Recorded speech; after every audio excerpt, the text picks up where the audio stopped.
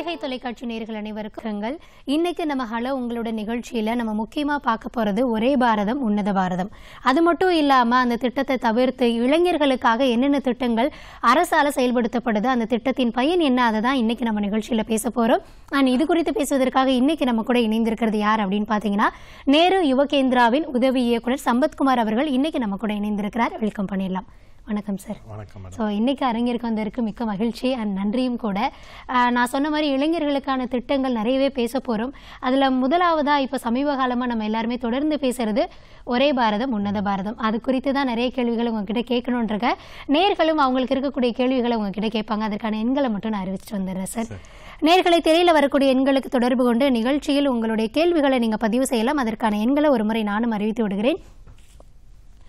ஒன்பது நான்கு நான்கு நான்கு ஒன்பது பூஜ்ஜியம் ஒன்று பூஜ்ஜியம் ஒன்று ஒன்று அல்லது ஒன்பது நான்கு நான்கு நான்கு ஒன்பது பூஜ்ஜியம் ஒன்று பூஜ்ஜியம் இரண்டு ஒன்று அல்லது எட்டு ஒன்று இரண்டு நான்கு நான்கு நான்கு ஆறு ஆறு ஒன்று ஒன்று அல்லது எட்டு ஒன்று இரண்டு நான்கு நான்கு நான்கு ஆறு ஆறு இரண்டு இரண்டு அல்லது இரண்டு ஐந்து மூன்று ஒன்பது ஏழு பூஜ்ஜியம் ஒன்று ஒன்று அல்லது இரண்டு ஐந்து மூன்று ஒன்பது ஏழு பூஜ்ஜியம் ஒன்று பூஜ்ஜியம் ஆகிய எண்களுக்கு தொடர்பு கொண்டு நிகழ்ச்சியில் உங்களுடைய கேள்விகளை நீங்கள் கேட்கலாம். சார் நான் ஃபஸ்ட்டே சொன்ன மாதிரி இந்த ஒரே பாரதம் உன்னத பாரதம். இப்போ சமீப காலமாக நம்ம ரொம்பவே பேசிட்டே வரோம். ஸோ அந்த திட்டத்தில் நேரு யுவ கேந்திராவின் செயல்பாடு எப்படி இருக்கு? ஆனால் நீங்கள் என்ன ஸ்பெஷல் அதில் பண்ணிட்டு இருந்தீங்க? ஒரே பாரதம் உன்னத பாரதம் அப்படின்னு சொல்றதுக்கு முன்னாடி நம்ம ஒருத்தரை நினைவு கூறணும் இந்த இடத்துல. அதாவது சர்தார் வல்லபாய் பட்டேல் நம்ம அனைவருக்கும் தெரியும். ஒரே இந்தியா அப்படின்ற கொண்டு வந்தது அவரு தான் முதல்ல. அந்த ஒரே இந்தியா அவர் கொண்டு வரும்போது நிறைய மக்கள் இங்க இருந்தாங்க. ஆனா இப்போ வந்து நூத்தி முப்பது கோடி மக்கள் நெருங்கிட்டோம் நம்ம. நூத்தி முப்பது கோடி மக்களையும் ஒரே இந்தியா அப்படி மட்டும் இல்ல உன்னதமான இந்தியாவை கொண்டு வரணும் அப்படின்றதுக்காக நம்ம பாரத பிரதமர் மோடி அவர்கள் நிறைய திட்டங்களை கொண்டு வராங்க. அந்த திட்டங்களை ஒண்ணுதான் இந்த ஏக் பாரத் ஸ்ரேஷ்ட பாரத் என்று சொல்லக்கூடிய ஒரே பாரதம் உன்னத பாரதம். இந்த ஒரே பாரதம் உன்னத பாரதம் சொல்லும் பொழுது முதல்ல ஒவ்வொரு ஸ்டேட்டுக்கு நடுவுல வந்து ஒரு ஒருமித்த கருத்து வரணும். ஒற்றுமை உணர்வு வேணும். ஒருத்தரை ஒருத்தர் வந்து புரிஞ்சுக்கணும் அப்படின்றதுக்காக தான் இந்த திட்டமே கொண்டு வரப்பட்டது. இதுதான் இப்ப நேரு விவேகானந்தரா சமீபத்துல போன மாதம் பாத்தீங்கன்னா இந்த நிகழ்ச்சியை வெகு- சிறப்பாக நடத்தி முடிச்சிருக்கோம். ஓகே இப்போ நீங்க சொல்ற மாதிரி ஒரே பாரதம் உன்னத பாரதம் பா ஒரே பாரதமா இருக்கிறது மட்டும் இல்லாம ஒரு உன்னதமான பாரதமா இருக்கணும். அதுக்கு வந்து மாநிலங்களுக்கு இடையே வந்து ஒரு புரிந்துணர்வு ஏற்படணும் அப்படின்றதா இப்போ வந்து பாத்தீங்கன்னா நம்ம நாட்டுல வந்து நிறைய மாநிலங்கள் இருக்கோம் நம்ம. விஷயத்துல எந்தெந்த மாநிலங்களுக்கு இடையில நீங்க வந்து கான்செப்ட் கிரியேட் பண்ணி என்ன மாதிரி பண்ணிட்டு இருக்கோம்? இப்போ நம்ம பாரத பிரதமரோட கருத்து பிரகாரம் பாத்தீங்கன்னா மாநிலத்து மாநிலத்துக்கும் நமக்கு ஒரு புரிந்துணர்வு வேணும். அந்த மாதிரி புரிந்துணர்வு வேணும்னு சொல்லும்போது ஒவ்வொரு மாநிலமும் இன்னொரு மாநிலத்தோட டைப் பண்ணிருக்கோம். அதாவது பேர் ஸ்டேட்னு சொல்லுவாங்க. பேர் ஒன்னோட ஒன்னு பேர் ஆயிடும்.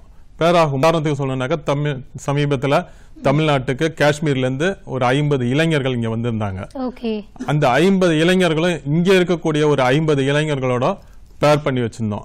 பேர் பண்ணி வைக்கும்போது அவங்க இரண்டு பேருமே அவங்களுடைய கல்ச்சுரல் கலாச்சாரம் அவங்களுடைய ட்ரெஸ் சென்ஸ் அதுக்கப்புறம் உணவு முறைகள் அவங்களோட எப்படி வந்து பழக்க வழக்கங்கள் அவங்க இதெல்லாம் பத்தி அவங்களுக்கு நிறைய விஷயங்கள் எடுத்து சொல்லியிருக்கோம். ஓகே நீங்க சொன்னதுல இருந்து எனக்கு வரிசையா ஒரு மூணு கேள்வி இருக்கு. அதுல முதலாவது என்ன அப்படின்னு பாத்தீங்கன்னா பொதுவாவே நம்ம சொல்லுவோம் காஷ்மீர் முதல் கன்னியாகுமரி வரை. அங்கேயும் நம்ம முடிச்சு போட்டு முடிச்சு போட்டு தான் வச்சிருக்கோம். இருந்தாலும் அரசாங்கம் தரப்புல எப்படி தமிழ்நாடு காஷ்மீர் அப்படின்றத நம்ம செலக்ட் பண்ணோம்? இது வந்து டெல்லியிலேயே வந்து அவங்களே செலக்ட் பண்ணிடுவாங்க. ஒவ்வொரு ஸ்டேட்டோட ஒரு ஒரு ஸ்டேட் வந்து அப்படின்னு சொல்லிட்டு. இந்த மாதிரி வரும்பொழுது நேரு விவேகானந்தரெல்லாம் கிட்டத்தட்ட எல்லா மாநிலத்தும் இன்னொரு மாநிலத்தோட பேர் பண்ணி ஏக் பாரத் ஸ்ரேஷ்ட பாரத் இந்த நிகழ்ச்சி நடந்துகிட்டே இருக்கு. இந்த நிகழ்ச்சி இப்பொழுது தமிழ்நாட்டுல முடி நாங்க முடிச்சு வச்சிருக்கோம். இந்த மாதிரி பண்ணும் பொழுது பாத்தீங்கன்னா அஹ், போன மாசம் இவங்க ஐம்பது பேர் வரும் பொழுது உண்மையிலே வந்து நீங்க சொன்னது போல காஷ்மீர் முதல் கன்னியாகுமரி வரை அப்படின்னு சொல்றது ரெண்டு பேருமே அதாவது தமிழ்நாட்டுல இருக்க மக்கள்கிட்டயும் நாங்க பார்க்க முடிஞ்சது. காஷ்மீர் மாநிலத்தை அந்த இளைஞர்கள்கிட்டயும் நாங்க அதை நேரடியா பார்க்க முடிஞ்சது. ஏன்னா அவங்களுடைய ஒவ்வொரு விஷயத்தையும் அணுகும் பொழுது அஹ், நாங்க இது வரைக்கும் காஷ்மீர்ல இருந்திருக்கோம். காஷ்மீர் தான் உயர்ந்தது அப்படின்ற ஒரு நினைப்புல எல்லாம் இருந்திருக்கோம் அந்த இளைஞர்களோட பகிர்ந்து பகிர்ந்து கொள்ளும்போது இன்டராக்ஷன் ஒவ்வொரு இடத்துலயும் ஒவ்வொரு விதமா பேசியிருந்தாங்க. அதுல ஒரு விஷயம் எனக்கு டச் அப் பண்ணது வந்து நாங்க காஷ்மீரை வந்து இது வரைக்கும் வேற மாதிரி நினைச்சிருந்தோம். ஆனா தமிழ்நாட்டுக்கு வந்தவொடனே இவ்வளவு சுதந்திரமா இவ்வளவு ஃப்ரீயா இவங்கெல்லாம் இருக்- இருக்கதை பார்க்கும் பொழுது எங்களுக்கு இது பெரிய வரப்பிரசாதமா இருக்கு. நாங்க ஏன் தப்பின்ற மாதிரி அவங்க ஃபீல் பண்ற அளவுக்கு வந்தது. நான் சொன்ன மாதிரி நீங்க சொன்ன விஷயத்திலே வந்து அதாவது ஒரு நாடு முழுமைக்குமான ஒரு திட்டம் அதுல வந்து இளைஞர்களுக்கு தான் முன்னுரிமை அளிக்கப்பட்டிருக்கு. ஏன்னா ஐம்பது இளைஞர்கள் காஷ்மீர்ல இருந்து இங்க வந்திருக்காங்க அப்படின்ற பட்சத்துல எதற்காக இதை வந்து ஃபர்ஸ்ட் இளைஞர்கள் கிட்ட நம்ம கொண்டு போகணும் அப்படின்றது ஏன் இந்த கான்செப்ட்ல வந்தது? அதாவது இளைஞர்கள்ட்ட ஏன் கொண்டு போனோம்னா இன்னைக்கு இருக்கக்கூடியது நம்ம இளைஞர் எல்லாமே இளைஞர்கள் கையில். ஏன்னா இன்னைக்கு நம்ம நாட்டிலே பார்த்தீங்கன்னா நூத்தி முப்பது கோடி ஜனத்தொகையில இளைஞர் ஜனத்தொகை தான் அதிகமா இருக்கு. அவங்க கிட்டத்தட்ட ஒரு ஃபார்ட்டி ஃபைவ் பர்சன்ட் வந்து இளைஞர்கள் தான் இருக்காங்க. ஸோ அந்த நாற்பத்தைந்து சதவீத மக்களை தான் நம்ம முதல்ல கேர் பண்ணணும். ஏன்னா அவங்களால தான் எல்லாமே நல்லது கெட்டது எல்லாமே நடக்கும். ஆனா நம்ம வந்து சிரேஷ்ட பாரதம் சொல்லும் பொழுது உன்னத பாரதமா மர- வரணும் அப்படின்னாக்கா முதல்ல இளைஞர்களை தான் நம்ம குறிவைத்து அவர்களுக்கு தேவையான அத்தனை உதவிகளும் செய்தோம்னா பெரியவர்களாகிய நாம் செய்ய செய்யும்போது ஆட்டோமேட்டிக்காக இளைஞர்கள் இளைஞர்களால் நம்ம உன்னத பாரதமா இந்த இந்தியாவை மாற்ற முடியும் அப்படின்றது நம்பிக்கை. Okay sir. இப்போ உன்னத பாரதம் அதுவும் இளைஞர்கள் கையில் அப்படின்றப்போ கேட்குறப்பவே ரொம்ப அஹ், மகிழ்ச்சியா இருக்கு. ஏன்னா இன்றைய இளைமுறை நாளைய தலைமுறை அப்படின்னு சொல்லுவாங்க. அப்படி இருக்க பட்சத்தில் ஒரு ஐம்பது இளைஞர்கள் நம்ம செலக்ட் பண்றோம். அந்த செலெக்ஷன் ப்ராசஸ் எப்படி இருக்கும்? ஐம்பது இளைஞர்கள் சொல்லும்பொழுது அதுல எல்லாமே ரேஷியோல தான் நாங்க பண்றோம். ஃபிஃப்டி பர்சன்ட் பெண்களுக்கும் ஃபிஃப்டி பர்சன்ட் ஆண்களுக்கும். அப்படி. சம உரிமை அப்படின்னு கொடுத்து தான் செலக்ட் பண்றாங்க. அதுல பெரும்பாலும் பாத்தீங்கன்னா பெண்கள் வர்றதுக்கு இன்னமும் கூட தயக்கப்படுறாங்க. அது எல்லா இடத்துலயும் இருந்துகிட்டு இருக்கு. அங்கேருந்து வரும்போது பாத்தீங்கன்னா இருபத்தி ரெண்டு பேர் தான் பெண்களே வந்தாங்க. இருபத்தைந்து வர வேண்டியது இருபத்தி ரெண்டு வராங்க ஸோ அது பெரிய ரேஷியோ கிடந்து பெண்களுக்கான அந்த ரேஷியோ முழுமை பெறவில்லை அப்படின்றத என்னுடைய கருத்து. இருந்தாலும் ஒவ்வொருத்தரும் பார்க்கும் பொழுது அந்த இளைஞர்கள் பெண்கள் அப்படின்றது பாகுபாடு இல்லாம அவங்க வந்து இது வந்து என்னுடைய நாடு அப்படின்ற ஒரு கொள்கையை வச்சு தான் வந்திருக்காங்க அதே மாதிரி ஆண்களை விட பெண்கள் வந்து நிறைய கேள்விகள்லாம் கேட்டாங்க. இன்ட்ராக்ஷன்ல கண்கூட ஓகே ஸோ இப்படி ஐம்பது இளைஞர்கள் அங்கேருந்து இங்கே வந்தாங்க. நம்ம மாநிலத்துல இருந்து எப்போ போகிறோம் அதற்கான ப்ராசஸ் எப்படி இருக்கு? ஐம்பது இளைஞர்கள் அங்கேருந்து வந்தாங்க. வந்து அந்த அந்த கதையை நான் பிறகு நான் உங்களுக்கு. சொல்றேன். அதுக்கப்புறம் பாத்தீங்கன்னா இங்கேருந்து ஒரு ஐம்பது பேர் இந்த மாசமே போக வேண்டியது. சில சூழ்நிலைகள் காரணமா நம்ம எல்லாருக்குமே தெரியும். சூழ்நிலை காரணமா எல்லாம் கும்பலா போக முடியாது. ஐம்பது பேர் ஒன்று சேர்ந்து போக முடியாது. அப்படின்ற ஒரு காரணத்தினால மே மாசம் திட்டமிடப்பட்டிருக்கிறது. ஓகே.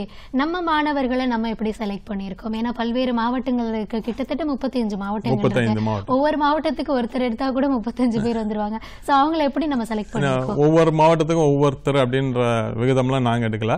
ஒரு யார் விருப்பம் இருக்காங்களோ அவங்க நேம் தரலாம்னு சொல்லி அந்த நேம்ஸ் வாங்கி நாங்க அதுல இருந்து ஃபில்டர் பண்ணி என்ன வயதிற்கு உட்பட்டவங்களை இதுல நம்ம செலக்ட் பண்ணியிருக்கோம்? பதினெட்டுல இருந்து இருபத்தி ஒன்பது வயதுக்கு உட்பட்ட.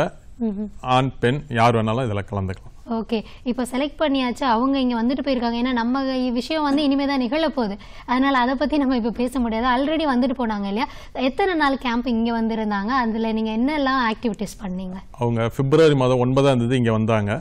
வரும்பொழுதே வந்து நாங்க எங்- நம்ம தமிழ்நாட்டுல இருக்கக்கூடிய ஐம்பது இளைஞர்களை ரெடி பண்ணி வச்சிருந்தோம்.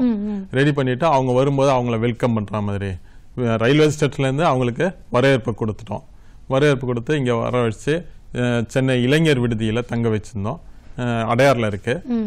அங்க இருக்கும் பொழுது பாத்தீங்கன்னா இந்த இளைஞர்களும் நம்ம ஊர் இளைஞர்களும் அதாவது தமிழ்நாட்டு இளைஞர்களும் ரெண்டு பேருமே மிங்கிள் பண்ண வச்சோம். மிங்கிள் பண்ணி வச்சு ஐம்பது பிளஸ் ஐம்பது நூறு பேரும் அங்கேயே ஸ்டே பண்ணியிருந்தாங்க அங்கேயே ஸ்டே பண்ணியிருந்தாங்க ஸோ இவங்க எல்லாருமே பார்த்தீங்கன்னா ஒருத்தர் ஒருத்தர் முதல் நாள் ஒருத்தர் ஒருத்தர் பேசக்கூட இல்லை. இவங்கள யாரோ அவங்க பார்க்குறாங்க அவங்கள யாரோ இவங்க பார்க்குற மாதிரி இருந்தது. அன்னைக்கே வந்து நாங்க டீப் ஃப்ரீசிங் சொல்லக்கூடிய அந்த ஒருத்தர் ஒருத்தர் புரிஞ்சுக்கணும் அப்படின்றதுக்காக ஒரு விளையாட்டு ஒன்று ரெடி பண்ணோம். அந்த விளையாட்டு மூலமா ஒருத்தர் ஒருத்தர் அறிமுகம் ஆயிட்டாங்க அறிமுகம் ஆயிட்டு அஹ், ஒ- கொஞ்சம் பேச ஆரம்பிச்சாங்க. பேச ஆரம்பிச்சு இதுக்கு அடுத்த ஸ்டெப் என்ன பண்றதுன்னு யோசிக்கும் பொழுது அவங்களுக்கு ஃபுல் அண்ட் ஃபுல் இவங்கள உடைக்கணும். இவங்க கிட்ட இருக்கிற தடைகள்லாம்? தடைகள் அத்தனையும் உடைச்சிடணும் அப்படின்றதுக்காக நாங்க ஹோம் ஸ்டேன்னு ஒரு புது கான்செப்டை கொண்டு வந்தோம். ஹோம் ஸ்டேனா எங்க வாலண்டியர்ஸ் ரெண்டு ரெண்டு பேர் அவங்கவுங்க வீட்டுல தங்க வைக்கணும். இந்த காஷ்மீர் இளைஞர்களை அப்படின்னு சொல்லும்போது முதல்ல தயங்குனாங்க சார் எப்படி சார் அவங்க எப்படி இருப்பாங்களோ என்ன? எதுவா இருந்தாலும் பரவாயில்ல எந்த சூழ்நிலையா இருந்தாலும் அவங்க அக்செப்ட் பண்ணுவாங்க. நீங்க கூட்டு போங்கன்ட்டு ரெண்டு நாள் அவங்கவுங்க வீட்டுக்கு அனுப்பி வச்சிட்டோம். அனுப்பி வச்ச உடனே பாத்தீங்கன்னா அதோட இம்பாக்ட் வந்து ரொம்ப அதிகமா இருந்தது தாக்கம்.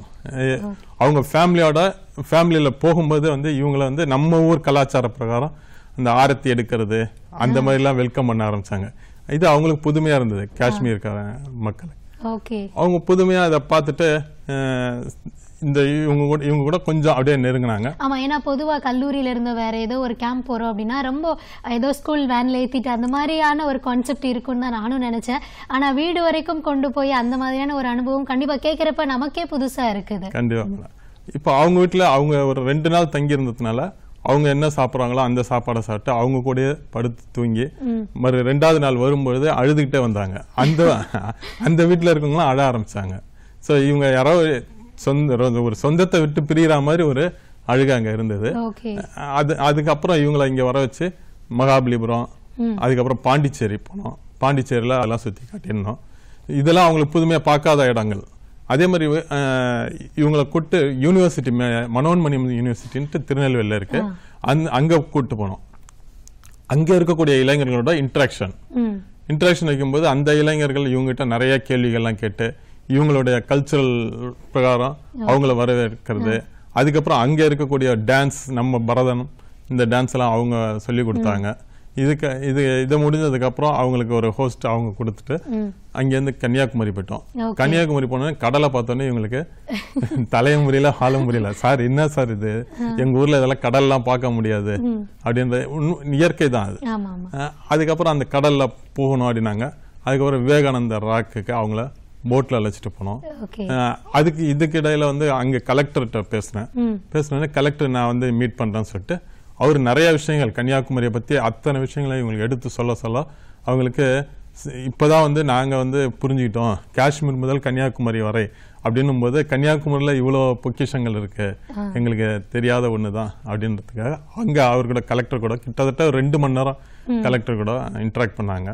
இன்டராக்ட் பண்ணி முடிச்சு ம், வந்துட்டோம். இதுக்கப்புறம் பாத்தீங்கன்னா ம், அவங்க சன் செட் பார்க்கணும் சன் ரைஸ் பார்க்கணும் அப்படின்னு ஆமா அது முக்கியமான விஷயம் இல்லையா கன்னியாகுமரி அப்படின்றப்போ? அது அது ரெண்டுத்தையுமே ஏற்பாடு பண்ணோம். அவங்களோட அதிர்ஷ்டம் ரெண்டுமே அவங்களுக்கு பார்க்கறதுக்கு ஒரு தரிசனம் கிடைச்சது. ஓகே சூப்பர் ஸோ அவங்க அதுலயும் அவங்க வந்து ரொம்ப மகிழ்ச்சி அடைஞ்சாங்க. ஓகே தொடர்ந்து பேசலாம் சார் நேயர் இணைப்புல இருக்காங்க. வணக்கம் ஹலோ உங்களுடன். ஹலோ. வணக்கம் சார் யார் எங்க இருந்து பேசுறீங்க? சார் வணக்கம் மேடம். என் பேர் சசிதரன். நான் வந்து கேரளா மூணாறுல இருந்து பேசுறேன் மேடம். Okay sir. என்ன கேள்வி இருக்கு? இந்த கேள்வி இல்ல மேடம். ஜென்ரலா ஒரு கொஸ்டின் கேட்கலாம் சொல்லிட்டு தான் கால் பண்ணேன். ஓகே சொல்லுங்க சார். மேடம் நான் யூபிஎஸ்சி ப்ரிப்பரேஷன் பண்ணிக்கிட்டு இருக்கேன். ஏன்னா இந்த மாதிரி பொது நிகழ்ச்சியில எதுவும் கலந்துக்கிட்டது இல்ல. அடுத்த தடவை இந்த மாதிரி நிகழ்ச்சி எதுவும் நடக்கும்போது கூப்பிடு சாரு கூப்பிடலாமா வைக்கலாமா? எனக்கு வயசு இருபத்தொன்பது ஆகுது. ஓகே. ஸோ இந்த மாதிரியான நிகழ்ச்சிகள்ல கலந்துக்கணும் அப்படின்னா என்ன பண்ணணும் அப்படின்றது உங்களுடைய கேள்வியா இருக்கு இல்லையா? ஆமா மேடம் கொஞ்சம் ஆர்வமா இருக்கிறேன் ஆனா வந்து இது அதுக்குள்ள சந்தர்ப்ப சூழ்நிலை இன்ன வரைக்கும் அதுக்குள்ள அமையல. புரியுது சார் உங்களுடைய ஆர்வம் புரியுது. சார்கிட்டயும் உங்க கேள்வியையும் நம்ம கேட்டுடலாம். இந்த மாதிரியான ப்ரோக்ராம்லாம் நடக்கிறப்போ இளைஞர்கள் நாங்க ஆர்வமா இருக்கோம் எப்படி கலந்துக்கிறது அப்படின்னு கேக்குறாரு. ஓ நம்ம இந்தியா முழுக்க நேரு யுவகேந்திரா இருக்கு. அந்த நேரு யுவகேந்திரால போய் கான்டாக்ட் பண்ணாலே அவங்களுக்கு எல்லா வழிமுறையும் அவங்களே கத்து கொடுத்துருவாங்க. ஓகே இப்போ அவர் வந்து சென்னையில அடையாறுல இருக்குங்க. அடை அடையாறு யூத் ஹாஸ்டல் அடையாறுலயே கான்டாக்ட் பண்ணலாம். அடையாறுலயே வந்து யூத் ஹாஸ்டல் இருக்கு. அந்த யூத் ஹாஸ்டல் காம்ப்ளெக்ஸ்லயே நேரு அலுவலகம் இருக்கு. ஓகே. ஓகே சார் நான் நேர்ல நன்றி சார் இணைப்பில் வந்தமைக்கு மிக்க மேடம் ரொம்ப நன்றி மேடம் நன்றி மேடம் நன்றி சார் ஸோ இளைஞர்கள் நம்ம பேசுறது அவங்க கேட்குறப்பவே வந்து எவ்வளோ ஆர்வத்தோட இருக்காங்க அப்படின்றது தெரியுது.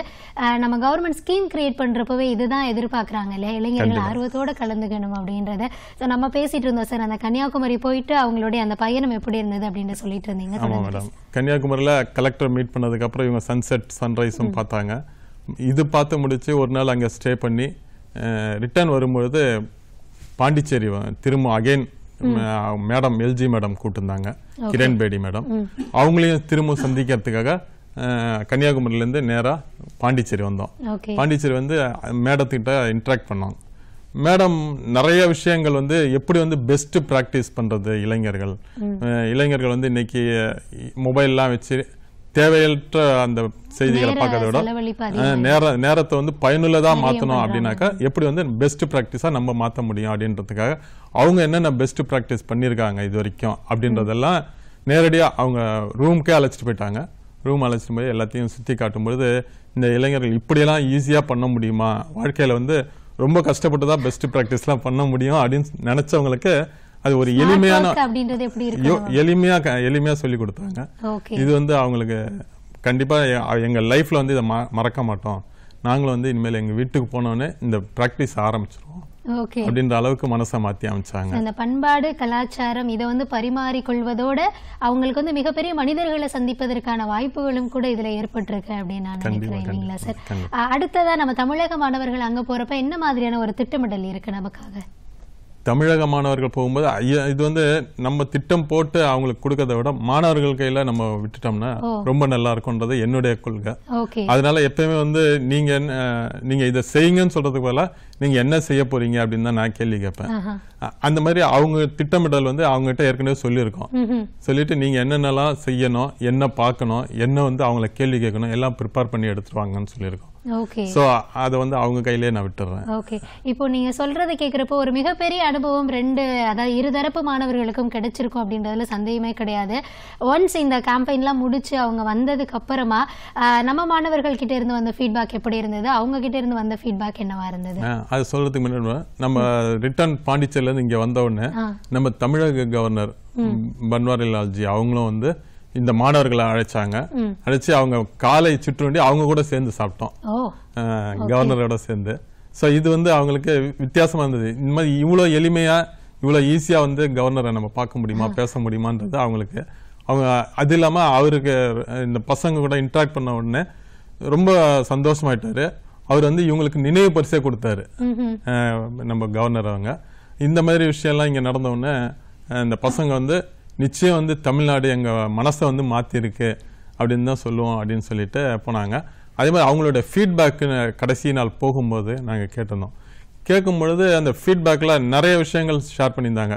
இந்த இளைஞர்கள் வந்து ரொம்ப வந்து எவ்வளோ திட்டினாலும் சரி நம்ம நல்லதுக்கு தான் திட்ட போகிறோம் எவ்வளோ திட்டினாலும் பொறுமையாக கேட்டுக்கிறாங்க தமிழ்நாட்டை. ஆனால் எங்களுக்கெல்லாம் வந்து உடனே உடனே கோவம் வரும். ரியாக்ட் பண்ணிவிடுவோம் அந்த ரியாக்ட் பண்ணுறது இந்த தமிழக மாணவர்கள்ட்ட ரொம்ப இருக்குது கொஞ்சம் யோசிக்கிறாங்க. யோசிச்சுட்டு அதுக்கப்புறம் தான் ரியாக்ட் பண்றாங்க. அதனால இவங்கள பார்த்து நாங்க அதை பொறுமையா பர்சிவரன்ஸ் அது அதை வந்து நாங்க கத்துக்கிட்டோம் அப்படின்றத அவங்க ஃபீட்பேக்ல எழுதியிருந்தாங்க. அதே மாதிரி எந்த ஒர்க்கு கொடுத்தாலும் அதை வந்து ஏன் செய்யணும் எதுக்கு செய்யணும் அப்படின்ற ஒரு கேள்வி முறை இல்லாம செய்தாங்க. எங்க எங்களை வந்து சகோதர சகோதரிகள் போல பார்த்துக்கிட்டாங்க. இதே மாதிரி நாங்க அங்க பார்த்துக்கணும். பார்த்துக்கிறதுக்கு எங்களுக்கு முடியுமா அப்படின்றதே கேள்விக்குறியா இருக்கு அப்படின்னு சொல்லிட்டு ஃபீட்பேக்ல எழுதி வச்சிருந்தாங்க. ஸோ இதெல்லாம் வந்து பார்க்கும்போது தமிழகம் அப்படின்னும் போது தமிழகமும் ஒரு தலை சிறந்த மாநிலம். அது வந்து எல்லாருக்கும் வந்து வழிகாட்டியா இருக்கும் அப்படின்றது தான் இந்த ஃபீட்பேக் மூலமா தெரிஞ்சுக்கிட்டோம். இது வந்து அவங்க தரப்புல இருந்து வந்தது. நம்ம மாணவர்கள் இது முடிஞ்சோடனே அவங்களுக்கான அந்த ஏன்னா இது வரைக்கும் நம்ம தமிழகத்துல நிறைய இடங்கள் பார்வையிட்டிருப்போம். நம்ம போய் சுத்தி பார்த்திருப்போம். இது வந்து வேற்று மாநிலத்துல இருந்து ஒருத்தவங்க வராங்க. அவங்கள வந்து நம்ம மாநிலத்தவரா நம்ம மக்களா பாவிச்சு நம்ம இந்த விஷயங்கள்லாம் பண்ணணும் அப்படின்றப்போ அவங்கக்கிட்ட இருந்து வந்த ஃபீட்பேக் எப்படி இருந்தது? நம்ம தமிழக மாணவர்கள் சொல்லும்போது அவங்களுடைய ஃபீட்பேக்கு நாங்க எங்க வீட்டுக்கு அழைச்சிட்டு போகும்போது பயந்தோம். ஏன்னா காஷ்மீர் அப்படின்னு சொல்லும்போது பாம் இருக்குமா குண்டு இருக்குமா இப்படிலாம் வந்து யோசிக்க ஆரம்பிச்சோம் நாங்க ஆனா அதெல்லாம் இல்ல. எங்கள் எங்கள ஒரு சகோதர சகோதரி சகோதரியா அவங்களும் வந்து நாங்க என்ன சாப்பிட்றோமோ அதை சாப்பிட்டாங்க. எங்க கூட சேர்ந்து விளையாடினாங்க. எங்க அப்பா அம்மாவை அப்பா அம்மா அப்படின்னு தான் கூப்பிட்டாங்க. இதெல்லாம் பார்க்கும்பொழுது இவங்க என்னுடைய சகோதரன் தான் அப்படின்ட்டு. இதுக்கு இதுக்கு இந்த மாதிரி அவங்க ஃபீட்பேக் கொடுத்தாங்க இது மட்டும் இல்லாம இன்னைக்கு வரைக்கும் கிட்டத்தட்ட ஒரு மாசம் முடிஞ்சிடுச்சு கேம்ப் முடிஞ்சு. தமிழக மாணவர்களும் அந்த காஷ்மீர் இளைஞர்களும் ரெண்டு பேரும் மொபைல்ல தொடர்புலயே இருக்காங்க. ஓகே. இதை தான் அரசாங்கமும் எதிர்பார்க்குது இல்லையா? வேற்றுமைகளை உடைத்து ஒரு பிரம்மை நம்ம கிட்ட இருக்கு அவங்கன்னா இப்படிதான் இருப்பாங்க இவங்கன்னா இப்படிதான் இருப்பாங்க அப்படின்றத அந்த பிரம்மையை உடைச்சு எல்லாரும் வந்து ஒரே தாயின் மகன்கள் மகள்கள் அப்படின்றத சொல்றதுக்காக தான் இந்த ஸ்கீமே அப்படின்னு நான் நினைக்கிறேன். அதை தான் வந்து அந்த ஃபீட்பேக்லேயே மாணவர்களே சொல்லியிருக்காங்க அப்படின்றதும் தெரிய வருது. ஓகே அடுத்தது அவர் காலர் இருக்காங்க சார் பேசிடலாம். வணக்கம் ஹலோ உங்களுடன். சார் வணக்கம். வணக்கம். சார் நான் வந்து குரோம்பேட்ல இருந்து பேசுறேன் சார். பேர் மீனா சுந்தரம் சீனியர் சிட்டிசன் ஃபோரத்தினுடைய பிரசிடண்டா இருக்கேன். சொல்லுங்க சார். இங்க இளைஞர்கள் ஒரு முப்பது பேர் இருக்காங்க. அவங்களுக்கு இளைஞர்களுக்கான அரசு நல திட்டங்களை வந்து கொண்டு போய் சேர்க்கணுங்கிற ஒரு எண்ணத்துல உங்கள்கிட்ட கேக்குறேன். சொல்லுங்க சார். நீங்க என்ன ஆலோசனை கொடுக்குறீங்களோ அது மாதிரி நாங்க செயல்படுறோம். அந்த அந்த முப்பது பேரும் இளைஞர்களும் நேரு விவேகானந்தரா கூட இணைக்கணும் முதல்ல. அஃபிலியேட் பண்ணிட்டீங்கன்னா அஃபிலியேட் பண்ணிட்டீங்கன்னா நாங்க ஒரு அஃபிலியேஷன் சர்டிஃபிகேட் இணைப்பு படி சான்றிதழ் ஒன்று கொடுப்போம். அந்த சான்றிதழுக்கு அப்புறம் வந்து நேரடியா நீங்க வந்து எங்க கூட தொடர்பு கொள்ளலாம். நாங்களும் வந்து அரசு திட்டங்களை அந்த இளைஞர்களை ஒன்னு ஒவ்வொருத்தரா தனித்தனியா கூப்பிடுறதுக்கு பதிலா முப்பது பேரும் ஒண்ணா வச்சு சொல்லி கொடுத்துருவோம். சரி சரி சார். இப்ப அந்த சான்றிதழ் இப்ப உங்களோட சேர்றதுக்கு அந்த விண்ணப்பம் எங்க வாங்குறது? இளைஞர் விடுதி அடையாறு இந்திரா நகர் அந்த அலுவலகத்துக்கு வந்தீங்கன்னா உங்களுக்கு நேரடியா வாங்கிக்கலாம் நீங்க. சரி சார் சரி சார். தேங்க்யூ சார் நன்றி சார். இணைப்பில் வந்தமைக்கு மிக்க நன்றி. நன்றி. அதுதான். நம்ம நிகழ்ச்சி வந்து ஒரு அவேர்னஸ் கிரியேட் பண்றதுக்காகவே தான் நம்ம வச்சோம். ஸோ அதுக்கேற்ற மாதிரி எல்லாரும் வந்து ஒரு ஆர்வத்தோட இணைந்து கொள்ளணும் அப்படின்னு நினைக்கிறாங்க. ஸோ இதுல வந்து வேற ஏதேனும் விஷயங்கள் வந்து நான் கேட்க தவறி நீங்க சொல்லணும் அப்படின்ற விஷயங்கள் இதுல இருக்கா சார் காஷ்மீரை பொறுத்தவரை வேற முக்கியமான விஷயம்னு ஒண்ணும் இல்ல. ஆனா இந்த இளைஞர்கள் வரும்போது இருந்த மனமாற்றம் நிச்சயம் வந்து இங்க வந்து போனதுக்கு அப்புறம் இருக்கு. ஓகே அது வந்து நம்ம தமிழக மாணவர்கிட்டயும் இருந்தது அவங்க கிட்டயும் இருந்தது. இப்போ வந்து ரெண்டு பேருமே வந்து ஒருத்தர் ஒருத்தர் புரிஞ்சுக்காம இருந்தாங்க. இப்போ புரிஞ்சதுக்கு அப்புறம் வந்து பாத்தீங்கன்னா நிறைய விஷயங்கள். இவனுக்கு உடம்பு சரியில்லை அப்படின்னாக்கா அவன் போய் நிக்கிறதும் அவனுக்கு உடம்பு சரியில்லை அப்படின்னாக்கா இவன் வந்து நிக்கிற ஏன்னா கிளைமேட் சேஞ்ச் ஆகுது. அந்த சகோதரத்துவம் அப்படின்றது நிறையவே கிரியேட் பண்ணி வச்சிருக்கோம் ஓகே சார் இப்போ வந்து ஒரே பாரதம் உன்னத பாரதம் அப்படின்றத தான் நோக்கமா வச்சு இந்த ஸ்கீம் தொடங்கப்பட்டது. அது வந்து ஏறத்தாழ ஒரு தொண்ணூறு சதவீதத்தை தாண்டி ஒரு கட்டத்திலேயே நிகழ்ந்திருக்கு அப்படின்றது நீங்க சொல்றப்ப தெரியுது. இன்னும் வந்து நம்ம இன்னொரு கட்டம் இருக்கு. நம்ம மாணவர்கள் அங்க போகணும். அதற்கப்புறமா இந்த பாண்டிங் அப்படின்றது இன்னும் ஸ்ட்ராங் ஆகும் அப்படின்றது நீங்க சொல்ற விஷயங்கள்ல இருந்து எங்களால் கண்கூட பார்க்க முடியுது. அண்ட் இது தவிர்த்து இளைஞர்களுக்காக அரசாங்கம் நிறைய விஷயங்கள் செஞ்சுட்டே இருக்காங்க. அடுத்ததாக பார்த்தீங்கன்னா எனக்கு கேட்க விரும்புகிறது ஃபிட் இந்தியா ஏன்னா வந்து இப்போ ரீசெண்டாக வந்து ரொம்ப ட்ரெண்ட் ஆனது அதுவும் சமூக வலைதளங்களில் மாணவர்கள் கிட்ட சரி இளைஞர்கள் கிட்ட சரி எல்லாருக்கிட்டையும் ஃபிட் இந்தியா அப்படின்றது ரொம்பவே ஒரு பேசக்கூடிய ஒரு விஷயமாகவும் மாறிடுச்சு. ஸோ அது தொடர்பான விஷயங்கள் சொல்லுங்க. ஃபிட் இந்தியா இன்னைக்கு நம்ம நாட்டுக்கு ரொம்ப முக்கியமான ஒன்று ஏன்னா உடம்ப வந்து ஃபிட்டாக வச்சுக்கணும். இன்னைக்கு எங்கே பார்த்தாலும் வந்து சின்ன வயசுலயே பிபி சுகர் இதெல்லாம் வந்துகிட்டு இருக்கு அப்படின்றத நம்ம எல்லாமே பார்த்துக்கிட்டு வரோம்.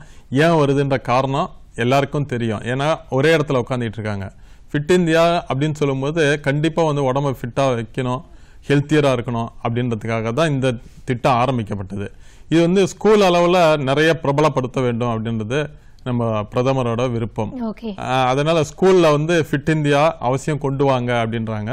அதே மாதிரி இளைஞர்கள் ஒவ்வொருத்தரும் வந்து தன்னைத்தானே ஹெல்த்தியரா வச்சுக்கணும் அப்படின்றதும் அவருடைய விருப்பம். இப்போ ஸ்கூலை பொறுத்தளவில் பார்த்தீங்கன்னா ஸ்கூல்ல கிரேட்லாம் கொடுக்குறாங்க. த்ரீ ஸ்டார் ஃபைவ் ஸ்டார் அப்படின்னு ஸ்கூலுக்கு வந்து ஸ்டார் கொடுக்குறாங்க மத்திய அரசு. இது வந்து எதுக்காக அந்த ஸ்டார்னாக்க டக்குன்னு அந்த ஸ்கூலை புரிஞ்சுக்கலாம். இந்த இந்த பள்ளி வந்து த்ரீ ஸ்டார் பள்ளி இந்த பள்ளி வந்து ஃபைவ் ஸ்டார் பள்ளி அப்படின்றாங்க. எதுக்குனாக்கா ஹெல்த்தியர்ல ஃபிட்னஸ்ல இந்த ஸ்கூல் மிக சிறப்பா அடிப்படையா வச்சு அந்த ஸ்டார் வழங்கப்படும் ஆஹ், அந்த ஸ்டார் வழங்க வழங்குறாங்க. இந்த மாதிரி வழங்கும்போது எப்படி அந்த ஸ்டாரை வாங்குறது அப்படின்றதும் பள்ளிக்கு சில நிபந்தனைகள்லாம் கொடுத்துருக்காங்க. அது வந்து W W W dot fit India dot ORG அப்படின்ற வெப்சைட்ல போய் அவங்க அந்த படிவங்கள் அந்த நிபந்தனைகள் எல்லாத்தையுமே அவங்க பார்க்க முடியும். ஓகே. இது இது இது ஒரு பக்கம் ஃபிட் இந்தியால ஒரு பள்ளி வந்து இந்த திட்டத்திற்கு கீழே வரணும். ஃபிட் இந்தியால வந்து தங்களை வந்து தரப்படுத்திக்கணும் அப்படின்னா நீங்க சொன்ன அந்த இணையதள முகவரிக்கு போய் அவங்க தொடர்பான விவரங்களை விவரங்களை. பெற்றுக்கொள்ளலாம். ஓகே. இது இது ஒரு பக்கம் மேடம். ஃபிட் இந்தியா பொறுத்தவரை நேரு விவேகந்திர நிறைய விஷயங்கள் மெயினா வந்து சைக்கிளை வந்து ப்ரொமோட் பண்றோம். சைக்கிள் ஓட்டினா நல்லது. ஆனா இன்னைக்கு வேகமா போற காலத்துல சைக்கிள் ஓட்ட முடியாது. இருந்தாலும் இது ப- பக்கத்துல போறது கூட இன்னைக்கு ஸ்கூட்டர் எடுத்துட்டு போறாங்க. ஆமா. அந்த மாதிரி போகிறத தவிர்த்துட்டு ரொம்ப லாங்ல போகும்போது அந்த ஸ்கூட்டரை யூஸ் பண்ணுங்க. பக்கத்துல போகும்போதோ இல்ல வேற ஏதோ சின்ன சின்ன வேலைகள் நடத்தும்போது சைக்கிள்லயே போங்க இல்ல நடந்து போங்க அப்படின்றத நாங்க இளைஞர்கள் மத்தியில பரப்பிக்கிட்டு வரோம். இன்னைக்கு சைக்கிள் பாத்தீங்கன்னா சைக்கிள் ரேலி வைக்கிறோம். சைக்கிள் ரேலி வைக்கும்போது போதுமான சைக்கிள் எங்களுக்கு கிடைக்கல. ஏன்னா சார் எங்க ஊர்ல சைக்கிளே கிடைக்கல சார். அப்படின்றது இளைஞர்கள் மத்தியில ஒரு குறையாகவும் இருந்துகிட்டு இருக்கு அதை வந்து நிவர்த்தி பண்ணுங்க. அதை வந்து நீங்க வந்து இளைஞர்கள் செய்யணும் அப்படின்றதுக்காக ஒவ்வொருத்தரையும் சைக்கிளை வந்து ஓட்டுங்க. சைக்கிள்னால நமக்கு உடம்பு வந்து தகுதியாகும் உடம்பு ஃபிட் ஆகும். வேற எந்த எக்ஸசைஸ் பண்ணலாம் சைக்கிள் ஓட்டுறதே போதுமானது. அப்படின்றதெல்லாம் சொல்லிட்டு வரோம் இந்த ஃபிட் இந்தியா மூலமா. ஓகே இப்போ ஃபிட் இந்தியாவில் வந்து பள்ளிகள் உள்ளே கொண்டு வந்துடுறீங்க இளைஞர்களை உள்ளே கொண்டு வந்துடுறீங்க இந்த மாதிரி ரேலி மூலமா. இது தவிர்த்து பொதுஜன மக்கள் இருக்காங்க. ஏன்னா அந்த பொதுஜன மக்கள் தான் வந்து அவங்க எந்த அளவுக்கு அதில் இன்வால்வ்டாக இருக்காங்க அப்படின்றது ஒரு கேள்விக்குறி. அதற்கான நடவடிக்கைகள் குறித்து பேசுறதுக்கு முன்னாடி நேயர் இணைப்பில் இருக்காங்க பேசிடலாம். வணக்கம் ஹலோ உங்களுடன். வணக்கம். ஹலோ வணக்கம். வணக்கம். யார் எங்கேருந்து பேசுறீங்க? டிவி வால்யூம் கம்மி பண்ணிட்டு உங்க தகவல்கள் சொல்லுங்கம்மா. குமாரபாளையம் சித்ராங்க. சரி ஓகே. உங்களுடைய கேள்வி என்னம்மா? ஏதாவது தொழில் தொடங்கலாம்னு இருக்கேங்க சார் மேடம். ஓகே. அதான் காட்டு ஏதாவது நலத்திட்ட உதவிகள் ஏதாவது கிடைக்குமா? ஓகே. என்ன வயது வரம்புக்கு கீழே நீங்க வரீங்க?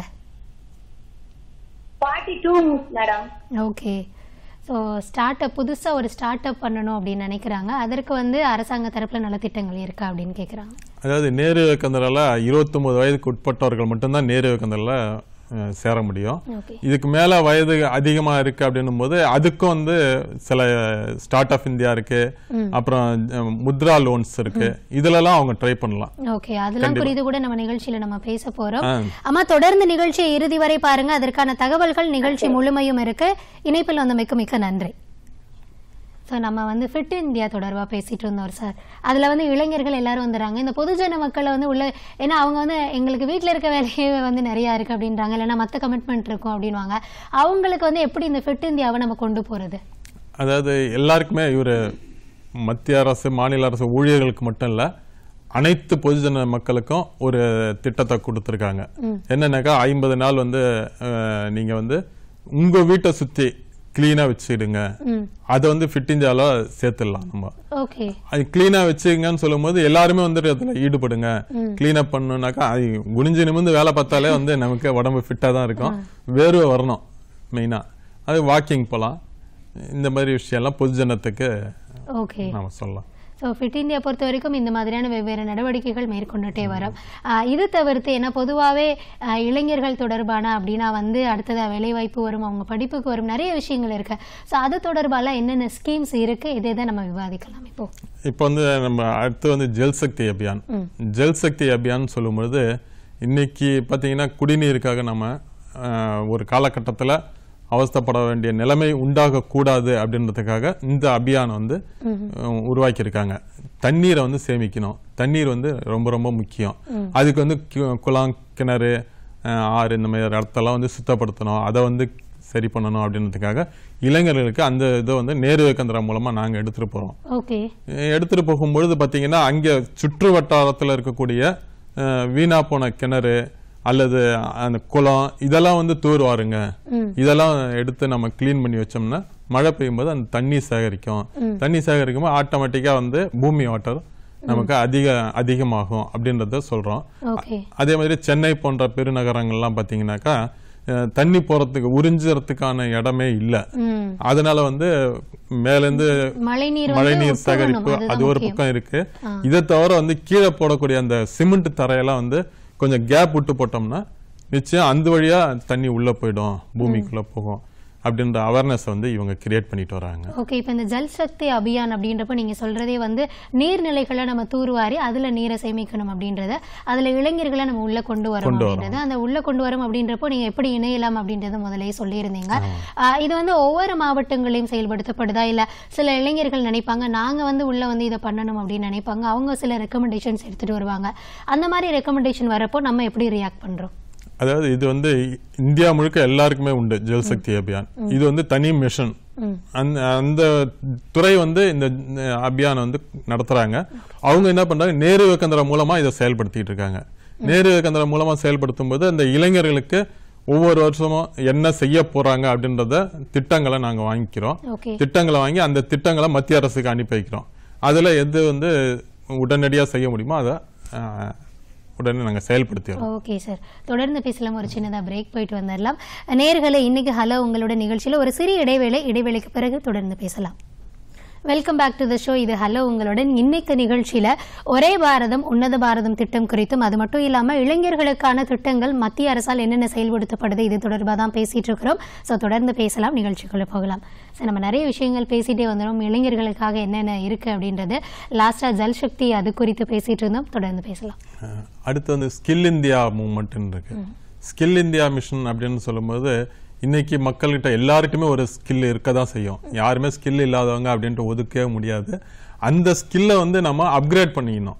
அப்கிரேட் பண்றதுக்காக நேரு விவேகந்திரா இளைஞர் நேரு விவேகந்திரா சேர்ந்துள்ள அந்த இளைஞர்களுக்கு நாங்க பயிற்சியை கொடுக்குறோம். ஓகே. என்ன மாதிரியான கொடுக்கப்படும்? அவங்க அவங்களுக்கு என்ன தேவை அந்த அவங்களுக்கு என்ன ஸ்கில் இருக்குன்றத அவங்க சொல்றோம் சொல்றாங்க. முப்பது பேர் ஒரே மாதிரி ஸ்கில் உள்ளவங்க வந்தாங்கன்னா அவங்களுக்கு வந்து அந்த ஸ்கில்லை வந்து அப்கிரேட் பண்ணி தரோம் அப்கிரேட் அப்படின்னு சொல்லும்போது உதா- உதாரணத்துக்கு சொல்லணும் அப்படின்னாக்கா பெண்கள்லாம் சேர்ந்து தையற் ப- பயிற்சி எங்களுக்கு தெரியும். Okay. நாங்க எல்லாமே ஸ்கில்லோட இருக்கோம் அப்படின்றாங்க. இந்த அப்கிரேட் எப்படி பண்ண முடியும் அப்படின்னு கேட்டீங்கன்னா இன்னைக்கு திருப்பூர்ல இங்கெல்லாம் வந்து ஆடை தயாரிப்புலாம் பண்ணிட்டு இருக்காங்க இந்த மாதிரி ஒவ்வொரு இடத்துலயும் மத்திய அரசு ஸ்கில் இந்தியா மிஷன் வந்து ஒரு சென்டர் ஒன்று ஓபன் பண்ணி வச்சிருக்காங்க. இதை தவிர வந்து பேங்க்லாம் சில பேங்க்லாம் பார்த்தீங்கன்னா அவங்க வந்து ஸ்கில் ஸ்கில்லை வந்து அப்கிரேட் பண்ணுறதுக்காக ஒரு சென்டரை ஓப்பன் பண்ணி வச்சிருக்காங்க. இவங்களோட டைப் பண்ணி வைக்க- வைக்கிறோம்.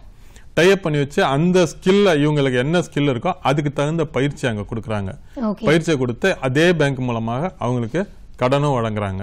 கடன் வழங்கி இவங்கள ஸ்கில்லை வந்து அப்கிரேட் பண்றாங்க. தொடர்ந்து பேசலாம் சார் நேயர் இணைப்புல இருக்காங்க. வணக்கம். ஹலோ உங்களுடன்? வணக்கம் சார் யார் எங்க இருந்து பேசுறீங்க மேடம் வணக்கம் மேடம் நாங்க திருவண்ணாமலை டிஸ்ட்ரிக்ட்ல இருந்து திருவண்ணாமலை திருவண்ணாமலை மாவட்டம் சார் டிவி பார்த்துட்டே பேசாதீங்க. டிவி வால்யூம் கம்மி பண்ணிடுங்க. பண்ணி ஆ சரி. இப்போ சொல்லுங்க. திருவண்ணாமலை மாவட்டத்துல சேத்துப்பட்டு வட்டம் பூக்கப்பாவன் ஒரு கிராமங்க. அங்க ஏற்கனவே நாங்க ஆயிரத்தி தொள்ளாயிரத்தி எண்பத்தி மூணுலயும் நாங்க ஏழு இருபத்தி ரிஜிஸ்டர் சங்கங்க. ஒரு சார் அப்புறம் கோஆர்டினேட்டரா இருந்தாரு. சாரி உட்காந்து பண்ணி இதை நல்லா ரன் பண்ணிட்டு வந்தோம். நாங்க முகாம்லாம் வேலூர் அப்போ ஒருங்கிணைந்த வேலூர் மாவட்டமா ம் சீர்காட்டுனா கூட நாங்க வந்து கலந்துக்கணும் அந்த முகாம்ல கலந்து பத்து நாள் பன்னெண்டு நாள் முகாம் போட்டு நல்லா நடத்தணும் அது இடையில நீங்க சீக்கிரம் மறுபடியும் கண்டினியூ பண்ண முடியுமா உங்க சங்கத்தை ரீசெஸ்டிங் ஏற்கனவே ரீசெஸ்டிங் பண்ண சங்கங்க ஓகே. ஆஹ், அவங்க ஏற்கனவே பதிவு பண்ணியிருக்கேன்னு சொல்லியிருக்காங்க. கண்டிப்பா வந்து அதை ரினியூவல் கட் ஆயிடுச்சுன்னா ரினியூவல் பண்ணிக்கலாம் புதுசா. ம் கண்டிப்பா வந்து அந்த அதுக்கு இதுக்கு இதுல வந்து ஒரே ஒரு விஷயம் என்னன்னு கேட்டீங்கன்னா இப்போதைக்கு உள்ள அந்த அரசு திட்டப்படி பதினெட்டு வயதுல இருந்து இருபத்தி ஒன்பது வயதுக்கு உள்ளவங்க தான் மெம்பர்ஸா இருக்க முடியும் உறுப்பினர்களா இருக்க முடியும். அதனால இவங்க உறுப்பினர்கள் அந்த அளவுக்கு கொண்டு வந்துட்டு வயது அதிகமாயிடுச்சுன்னா அவங்க ஆலோசகர் அப்படின்ற இது ஒரு பதவியில வந்து உள்ள வரலாம். உள்ள வந்து இவங்களுக்கு இளைஞர்களுக்கு அவங்க கைட் பண்ணலாம். ஓகே சார் வேற ஏதேனும் கேள்விகள்? அதுதான் அதான் மேடம் பண்ணணும்னா நல்லது சார் ஏற்கனவே கோஆர்டினேட்டரா இருக்கும்போது எங்களுக்கு தெரியும் பட்டாதி வேறு கோஆர்டினேட்டரா இருந்தாரு சார் இருக்கும்போது ஒர்க் பண்ணும்போது. முகாம்ல தந்து சேர்க்கறதுல ஒரு பத்து பன்னெண்டு நாள் முகாம் போட்டு சிறப்பா செஞ்சோம். சார் அதெல்லாம் ஓகே சார். இப்போ நீங்க வந்து ரெனியூ பண்ணணும்னா என்ன பண்ணணும்? அதுதான் உங்களுடைய கேள்வி இல்லையா? ஓகே அதுதான் சார் சொன்ன வழிமுறைகளை பின்பற்றி நீங்க ரெனியூ பண்ணிக்கலாம் திரும்ப ஸ்டார்ட் பண்ணலாம் அப்படின்னு சொன்னாங்க. நன்றி சார் இணைப்பில் வந்தமைக்கு நன்றி. இப்போ அவர் கேட்டார் இல்லையா சார்? ஸோ ஒன்ஸ் ஸ்டார்ட் பண்றது எப்படி ரெனியூ பண்றது எப்படின்னு அது தொடர்பான விவரங்கள் சொல்லிடலாமா? நேரு கந்திரால வந்து ஒவ்வொரு குரூப்பா வந்து ஜாயின் பண்ண முடியும். தனிப்பட்ட நபருக்கு நாங்க எதுவும் வந்து இணைப்பு படிவம் தர்றதில்ல. குரூப் அப்படின்னு சொல்லும்போது குறைந்தபட்சம் இருபத்தஞ்சு பேர். அதிகபட்சம் எத்தனை நபர்கள் வேணாலும் இருக்கலாம். இவங்க வந்து குரூப்பா சேர்ந்து அந்த பகுதியில என்னென்ன நலத்திட்டங்கள் செய்ய போறாங்க என்ன மாதிரியான வேலைகள்லாம் அங்க இருக்கு இதெல்லாம் வந்து பைலாஸ் ரெடி பண்ணி அதை எடுத்துட்டு வந்து அலுவலகத்தை கொடுத்தாங்கன்னா நாங்க இணைப்பு படிவம் ஒண்ணு கொடுத்துருவோம். அந்த அது அதுக்கு ஒரு அப்ளிகேஷன் ஒண்ணு இருக்கு. அந்த அப்ளிகேஷன் பூர்த்தி செய்து கொடுத்தாங்கன்னா உடனடியா வந்து இவங்களுடைய பேரு இவங்களுடைய மன்றம் இவங்க யாரெல்லாம் பொறுப்புல இருக்காங்க அவங்களுடைய ஃபோன் நம்பர் எல்லாத்தையுமே ஆன்லைன்ல நாங்க கொடுத்துறோம். ஓகே. ஸோ ஆன்லைன்லயே நம்ம வியூ பண்ணிக்கலாம். இந்த மாதிரி வரு- வரும்போது இவங்க எங்களோட சேர்ந்து வேலைகளை செய்ய ஆரம்பிக்கலாம். அந்த பகுதியில் ஏதாவது ஒர்க் நடக்கணும் அப்படின்னாக்கா அவங்க எங்க கூட சேர்ந்து கூட அவங்க செய்துக்கலாம். ஓகே ஸோ ஒரு சரியான காரியம் நல்ல காரியம் பண்ணணும் அப்படின்னு நினைக்கக்கூடிய ஒரு குரூப் ஆஃப் யங்ஸ்டர்ஸ் வந்து இதுல ஜாயின் பண்ணிக்கலாம் பண்ணலாம். அப்படின்றத. சில பேர் நிகழ்ச்சி பார்த்துட்டு போய் தோணும். நமக்கு கூட ஸ்டார்டிங்ல கேரளால இருந்து ஒருத்தர் கால் பண்ணியிருந்தாரு. அந்த மாதிரி தனிப்பட்ட ஒரு இளைஞர் வந்து நான் சேரணும் அப்படின்னா அவருக்கு என்ன மாதிரியான வழிமுறைகள்? தனிப்பட்ட இளைஞர்களுக்குன்னு ஒரு இங்க பண்ண முடியல. ஏன்னா அதுக்கான சட்ட சட்டத்திட்டங்கள் அரசாங்கம் எங்களுக்கு கொடுக்கல. குரூப்பா தான் இருக்கணும்னு சொல்றாங்க.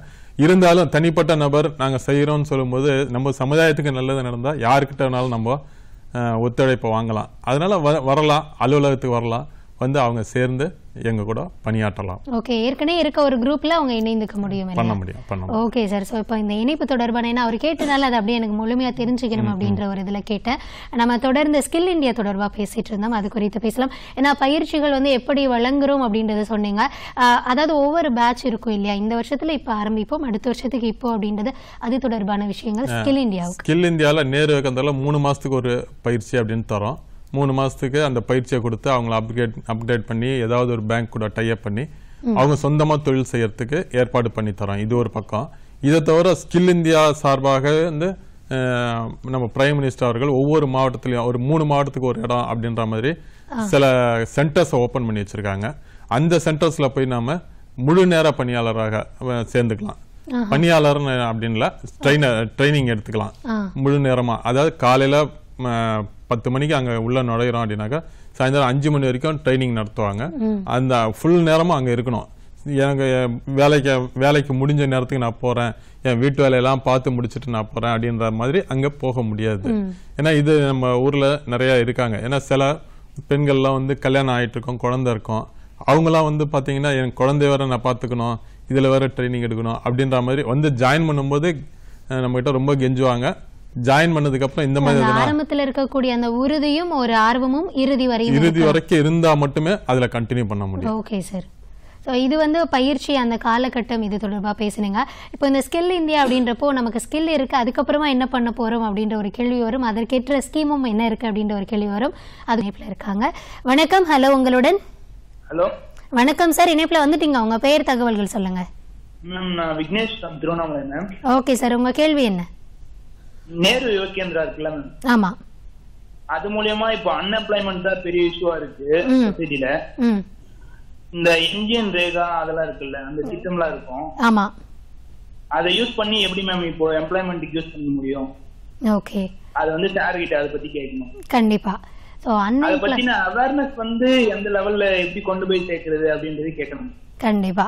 இப்போ அவர் சொல்ற நம்ம சொசைட்டியில் இருக்க எல்லா ப்ராப்ளமையும் அட்ரஸ் பண்ணி இளைஞர்கள் மூலமா சரி செய்றோம். இளைஞர்களுக்கு இருக்க ஒரு பிரச்சனை வந்து இந்த வேலை வாய்ப்பின்மை அதுல நேரு யுவகேந்திரா என்ன பங்களிப்பு தராங்க அப்படின்னு கேட்குறேன் வேலைவாய்ப்பின்மைக்கு இங்க வந்து ஸ்கில் அவங்களோட ஸ்கில்லை தான் அப்கிரேட் பண்ணி தரமே தவிர வேலைவாய்ப்புக்கு நாங்க வேலை எம்ப்ளாய்மெண்ட் ஆப்பர்ச்சுனிட்டி நாங்க ஏற்படுத்தி தரதில்ல ஏன்னு கேட்டீங்கன்னா அதுக்கு எம்ப்ளாய்மெண்ட் ஆஃபீஸ் இருக்கு. ஓகே. அஹ், அவங்க அவங்க அந்த வேலையை செய்துகிட்டு இருக்காங்க. அதனால நாங்க அந்த வேலையை செய்யறதில்ல. ஸ்கில்ல வந்து அப்கிரேட் பண்ணி தரோம் அந்த. வேலைக்கு என்ன தகுதி தேவையோ தகுதி- தகுதியை நம்ம தகுதியை உருவாக்கி தரோம் உருவாக்கிட்டு அதை வந்து எம்ப்ளாய்மெண்ட் ஆப்பர்ச்சுனிட்டி எம்ப்ளாய்மெண்ட் ஆஃபீஸ்ல வந்து இவங்களை ரெஃபர் பண்ணி விட்டுருவோம். ஓகே. இவங்க வந்து அங்கே தான் முயற்சி பண்ணாங்க ஓகே. நன்றி சார். இணைப்பில் வந்து மிக்க மிக்க நன்றி. சார் அது சொல்லுங்க. இதுக்காக சர்டிபிகேட் அந்த மாதிரி ஏதாவது வழங்குவாங்களா ஓகே. இதுல வந்து உண்டு உண்டு. சட்டி சான்றிதழ் கண்டிப்பா தரோம் பயிற்சி முடிஞ்ச உடனே பயிற்சி சான்றிதழ் உங்களுக்கு கண்டிப்பா வழங்கப்படும். ஓகே நன்றி சார் இணைப்பில் வந்து மிக மிக்க நன்றி. ஏன்னா வந்து அன்எம்ப்ளாய்மெண்ட் அப்படின்றது எங்க உருவாகுதுன்னா நீங்க சொன்ன மாதிரி அந்த திறமை இல்லாம அதற்கான தகுதி இல்லாதனால தான் அன்எம்ப்ளாய்மெண்ட் அப்படின்றது. ஏன்னா வேலை வாய்ப்புகள் இருக்கு. அதற்கேற்ற தகுதியை நம்ம வளர்த்துக்கணும் அப்படின்றத. அந்த தகுதியை வளர்த்துக்கிறதுக்கான இடமா தான் ஸ்கில் இந்தியாவே அந்த திட்டம் இருக்கு அப்படின்னு சொன்னீங்க. இப்போ ஸ்கில் இந்தியால வந்து பெண்களுக்கும் ஆண்களுக்குமான இருவருக்குமான இதுவுமே நம்ம தர்றோம் அப்படின்றது சொல்லியிருக்கீங்க. அடுத்ததா இளைஞர்களுக்கு என்ன திட்டம் இருக்கு? அஹ், இதை தவிர வந்து பாத்தீங்கன்னா make in India make in India அப்படின்னு சொல்லும்போது இது வந்து பெரிய அளவுல இளைஞர்கள் திட்டமிடுறாங்கன்னு வச்சுங்க. ஒரு மூணு நாலு இளைஞர்கள் சேர்ந்து அந்த ஒரு கம்பெனியை உருவாக்க போறோம். எங்களுக்கு வந்து எல்லா பொருளும் வந்து இங்கே இந்தியாவிலேயே உருவாக்குறோம். இந்தியாவிலேயே வந்து செல்லிங் பண்றோம். அப்படின்னு சொல்லும்போது மேக் இன் இந்தியா அந்த இடத்துல அந்த மாதிரி ஒரு திட்டம் வந்து உருவாகுது. மேக் இன் இந்தியாவுக்கும் ஸ்கில் இந்தியாவுக்கும் உள்ள வித்தியாசம் என்ன அப்படின்னு கேட்டிங்கன்னா ஸ்கில் இந்தியாவில் இவங்கள அப்கிரேட் பண்ணி அவங்கள கொண்டு வராங்க. மேக் இன் இந்தியாவில் இங்கே உற்பத்தி பண்றாங்க. உற்பத்தி பண்ணி அந்த மக்களுக்கு வந்து இளைஞர்களுக்கு நீங்க ஒரு வேலை தேடி போகாம நீங்க மத்தவங்களுக்கு வேலை வேலையை நிறைய கொடுங்க. ஏன்னா நிறைய அந்த மாதிரி நடந்து இருக்கு. அதனால மேக் இந்தியா அந்த அந்த இடத்துல இளைஞர் அதுல நேரு. இப்ப கேந்திராவுக்கு ஏதாவது பாட்டு இருக்கா? இல்ல இது வந்து மத்திய அரசாங்கத்தின் திட்டமா இது நேரு வைக்கிறதாக பார்ட் இல்ல. மேக் இன் இந்தியா இவங்க பண்றாங்க. இளைஞர் ஏன்னா எங்க கிட்ட எல்லா இளைஞர்களும் வந்துடுறாங்க.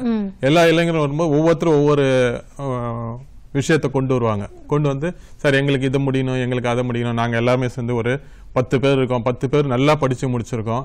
எங்களுக்கு வந்து இவ்வளோ திறமை இருக்கு. ஸ்கில் இந்தியாலே நாங்க ட்ரெயின் அப் பண்ணி சர்டிஃபிகேட் வாங்கி வச்சிருக்கோம். இதுக்கு அடுத்து வந்து நாங்க உற்பத்தி பண்ண போறோம். எங்களுக்கு ஏதாவது உதவுங்க அப்படின்னு சொல்லும்போது அவங்களுடைய இண்டஸ்ட்ரி பெருசா வைக்கிறதுக்கு ஆசைப்படுவாங்க. பெருசா வைக்க ஆசைப்படும் போது மேக் இன் இந்தியா நாங்க போறோம். மேக் இந்தியால போய் அவங்கள வந்து அந்த அந்த திட்டத்துல சேர்த்து விடுறோம். அந்த மாதிரி சேர்த்து விடும்போது பார்த்தீங்கன்னா இந்த இளைஞர்கள் அத்தனை பேரும் எங்களுக்கு கிட்டத்தட்ட ஒரு ஐம்பது லட்சம் ரூபாய் ஆகுது சார் இந்த இண்டஸ்ட்ரி வைக்கும் அப்படின்னாக்கா இந்த இளைஞர்கள் எல்லாமே படித்து முடிச்சவங்க. எல்லாருமே அதில் வந்து திட்டம் மேக் இன் இந்தியாவில் குறிப்பாக என்ன சொல்கிறாங்கனாக்கா இதில் எல்லா காஸ்ட்டும் வந்து 50 50% பர்சன்ட் இருக்கணும் அப்படின்னு சொல்கிறாங்க அதே மாதிரி முக்கியமாக பெண்களுக்கு 50% சதவீதம் இடம் கொடுக்கணுன்றாங்க இதெல்லாம் இந்த கண்டிஷன்லாம் இருந்ததுன்னா மேக் இன் இந்தியாவில் ஈஸியாக அவங்க வந்து இண்டஸ்ட்ரியை உருவாக்க முடியும். ஓகே.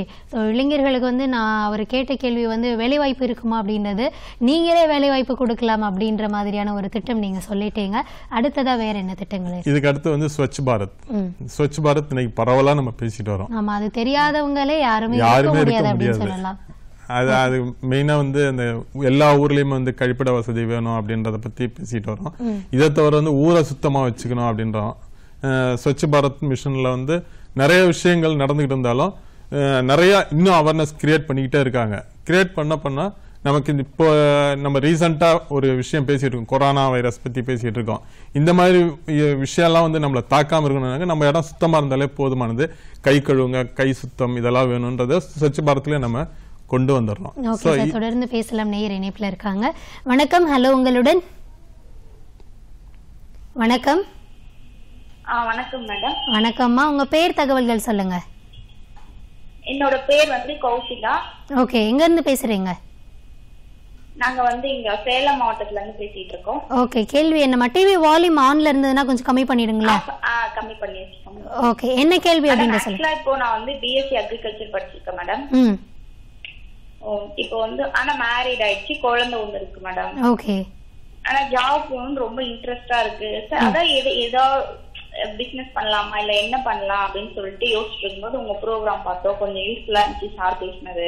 ஓகே அதான் ஏதாவது ஐடியா கிடைக்குமா? என்ன ஐடியா இப்போ அவங்க ஸ்கில் இந்தியா கீழே அவங்க ட்ரைனிங் பெற முடியுமா சார் கண்டிப்பா வாங்க முடியும். ஸ்கில் இந்தியா கீழே அங்க இருக்கக்கூடிய நேரு கந்தரா போய் பார்க்கலாம். ம். ஆமா எந்த மாவட்டம் நீங்க சொன்னீங்க? எந்த மாவட்டத்துல இருந்து கால் பண்றீங்க? நாங்க சேலம் மாவட்டம் இருக்கோம் சரி ஓகே சேலம்னா அவங்க அங்க ஆமா சேலம் மாவட்டம் அப்படின்னா அங்க வந்து நேரு யுவ கேந்திரா இருக்கும் அப்படின்னு சார் சொல்றாங்க. அங்க போய் காண்டாக்ட் பண்ணீங்கன்னா ஸ்கில் இந்தியா கீழே வந்து நீங்க ட்ரைனிங் எடுத்துக்கலாம். ட்ரைனிங் எடுத்துட்டு அந்த சர்டிபிகேட் வச்சு நீங்க வேலைக்கு ட்ரை பண்ணலாம் அப்படின்னு சொல்றாங்க. ஓ ஓகே நன்றி. இணைப்பில் வந்தமைக்கு மிக்க நன்றி. ஸோ நம்ம ஸ்கில் இந்தியா அப்படின்றது அதுதான் நிகழ்ச்சி மூலமா ஒவ்வொருத்தருக்கும் ஒவ்வொரு கேள்விகள் வருது. அதில் உனக்கு பதிலளிச்சாச்சு. நம்ம ஸ்வச் பாரத் அப்படின்னு சொல்லிட்டு இருந்தோம் சார் ஸ்வச் பாரத் வந்து அனைவருக்குமான திட்டம் தான். அது இல்லைன்னு சொல்லல. அதுல இளைஞர்கள் வந்து எந்த அளவுல முக்கியமா பங்கெடுக்கணும் அப்படின்னு நினைக்கிறீங்க? இன்னைக்கு பாத்தீங்கன்னா ஸ்வச் பாரத்தை பொறுத்தவரை இளைஞர்களோட பங்கு அதிகம். பெரியவங்களை விட இளைஞர்கள் பங்கு அதிகம். ஏன்னா ஒரு பெரியவங்களை போய் நம்ம சொல்லும்பொழுது நீங்க சுத்தமா வச்சிருங்க. நீங்க அப்படி இருங்க இப்படி இருங்க நம்ம சொல்லும்போது அவங்க கேட்க மாட்டாங்க. ஆனா இளைஞர்கள் போய் அவங்க அப்பா கிட்டயோ அவங்க அம்மா கிட்டயோ சொல்லும்போது நிச்சயம் வந்து நம்ம பையனே சொல்றான் நமக்கு அசிங்கமா இருக்கு அப்படின்றதுக்காக அவங்க மாறுறதுக்கான சான்சஸ் இருக்கு. அதனால ஸ்வச் பாரத் அப்படின்னு சொல்லும்போது இளைஞர்களை தான் நாங்க பெரும்பாலும் குறி வைக்கிறோம். அதே மாதிரி இந்த இளைஞர்கள் பாத்தீங்கன்னா இன்னைக்கு ஸ்வச் பாரத்ல தமிழ்நாடு தேசிய அளவுல ரெண்டாவது இடத்துல அவார்டு வாங்கியிருக்கோம். நேரு விவேகந்திரா சார்பாக. சோ இது இது வந்து நம்ம ஜனாதிபதி கையில போய் ஆண்டிருந்தாங்க. வியாசார்பாடில் ஒரு இளைஞர் மன்றம். எல்லா இடத்துலயும் அவ- அவங்க ஏரியா மட்டும் இல்லாம நிறைய இடத்துல அந்த குறிப்பா சொல்ல போனா பஸ் ஸ்டாண்டு ரயில்வே ஸ்டேஷன் இந்த மாதிரி எல்லா இடத்துலயும் போயிட்டு அவேர்னஸ் டிராயிங்லாம் வரைஞ்சி வச்சுட்டு வந்திருக்காங்க. சோ இதெல்லாம் வந்து ஸ்வச் பாரத்ல நேரு விவேகானந்தர் இளைஞர்கள் மூலமா செய்யக்கூடிய பணி. ஓகே வேற என்ன மாதிரியான நடவடிக்கைகள் எல்லாம் ஸ்வச் பாரத்ல நேரு யுவ கேந்திரா பங்கேற்றது? இதை தவிர வந்து டான்ஸ் அவேர்னஸ் இதுல எது பண்ணாலும் ஸ்வச் பாரத்துக்கு இம்பார்ட்டன்ஸ் கொடுத்து பண்ணிட்டு இருக்கோம் ஓகே சார் ஸோ அடுத்ததா என்ன திட்டங்கள் இருக்கு? இதுக்கு அடுத்து வந்து பேட்டி பச்சாவோ பேட்டி படாவோ. ஓகே இந்த திட்டம் வந்து முழுமை பெறணும்னாக்கா பெண் கல்வி ரொம்ப முக்கியமா பிரைம் மினிஸ்டர் சொல்றாங்க. ஒரு ஃபேமிலியில பொறுத்தளவில் ஒரு பெண் குழந்தை படிச்சதுன்னா நிச்சயம் வந்து அந்த ஃபேமிலிக்கே அது ரொம்ப நல்லது. அதனால பெண்களை வந்து படிக்க வைங்க. பெண்களை வந்து நிறைய வந்து சொல்லிக் கொடுங்க அப்படின்றது பேட்டி பச்சாவோ பேட்டி படாவோ. இதனுடைய செயலாக்கம் எப்படி இருக்கு? இதோட செயலாக்கம் சொல்லும்போது இன்னைக்கு கொஞ்சம் கொஞ்சமா எல்லாமே அவேர்னஸ் கிரியேட். ஆயிருக்கு. மக்கள் எல்லாருமே புரிஞ்சுக்கிட்டு பெண்கள் பெண்களை வந்து படிக்க வைக்கணும். பெண்களுக்காக ஏதாவது செய்யணும் அப்படின்ற அப்படின்ற விஷயத்த கொண்டு வராங்க. இதுலயே வந்து பெண்களுக்கு சேமிப்பு ரொம்ப ரொம்ப முக்கியம். இது போஸ்ட் ஆஃபீஸ்லயோ இல்ல பேங்க்லயோ இந்த பெண் குழந்தைகளுக்கு சேமிப்பு வந்து ஏற்படுத்தி தராங்க. அது இது வந்து அந்த பெண் குழந்தைய வந்து நாம சிறப்பா வளர்த்து கொண்டு போறதுக்கு ஒரு வழிமுறையா இருக்கு. ஓகே சார் அடுத்ததா என்ன ஸ்கீம் இருக்கு? இதுக்கு அடுத்து வந்து டிஜிட்டல் இந்தியா டிஜிட்டல் இந்தியா அப்படின்னு சொல்லும்போது இன்னைக்கு எல்லாமே வந்து நம்ம மொபைல் ஆப்ல வந்துடுச்சு.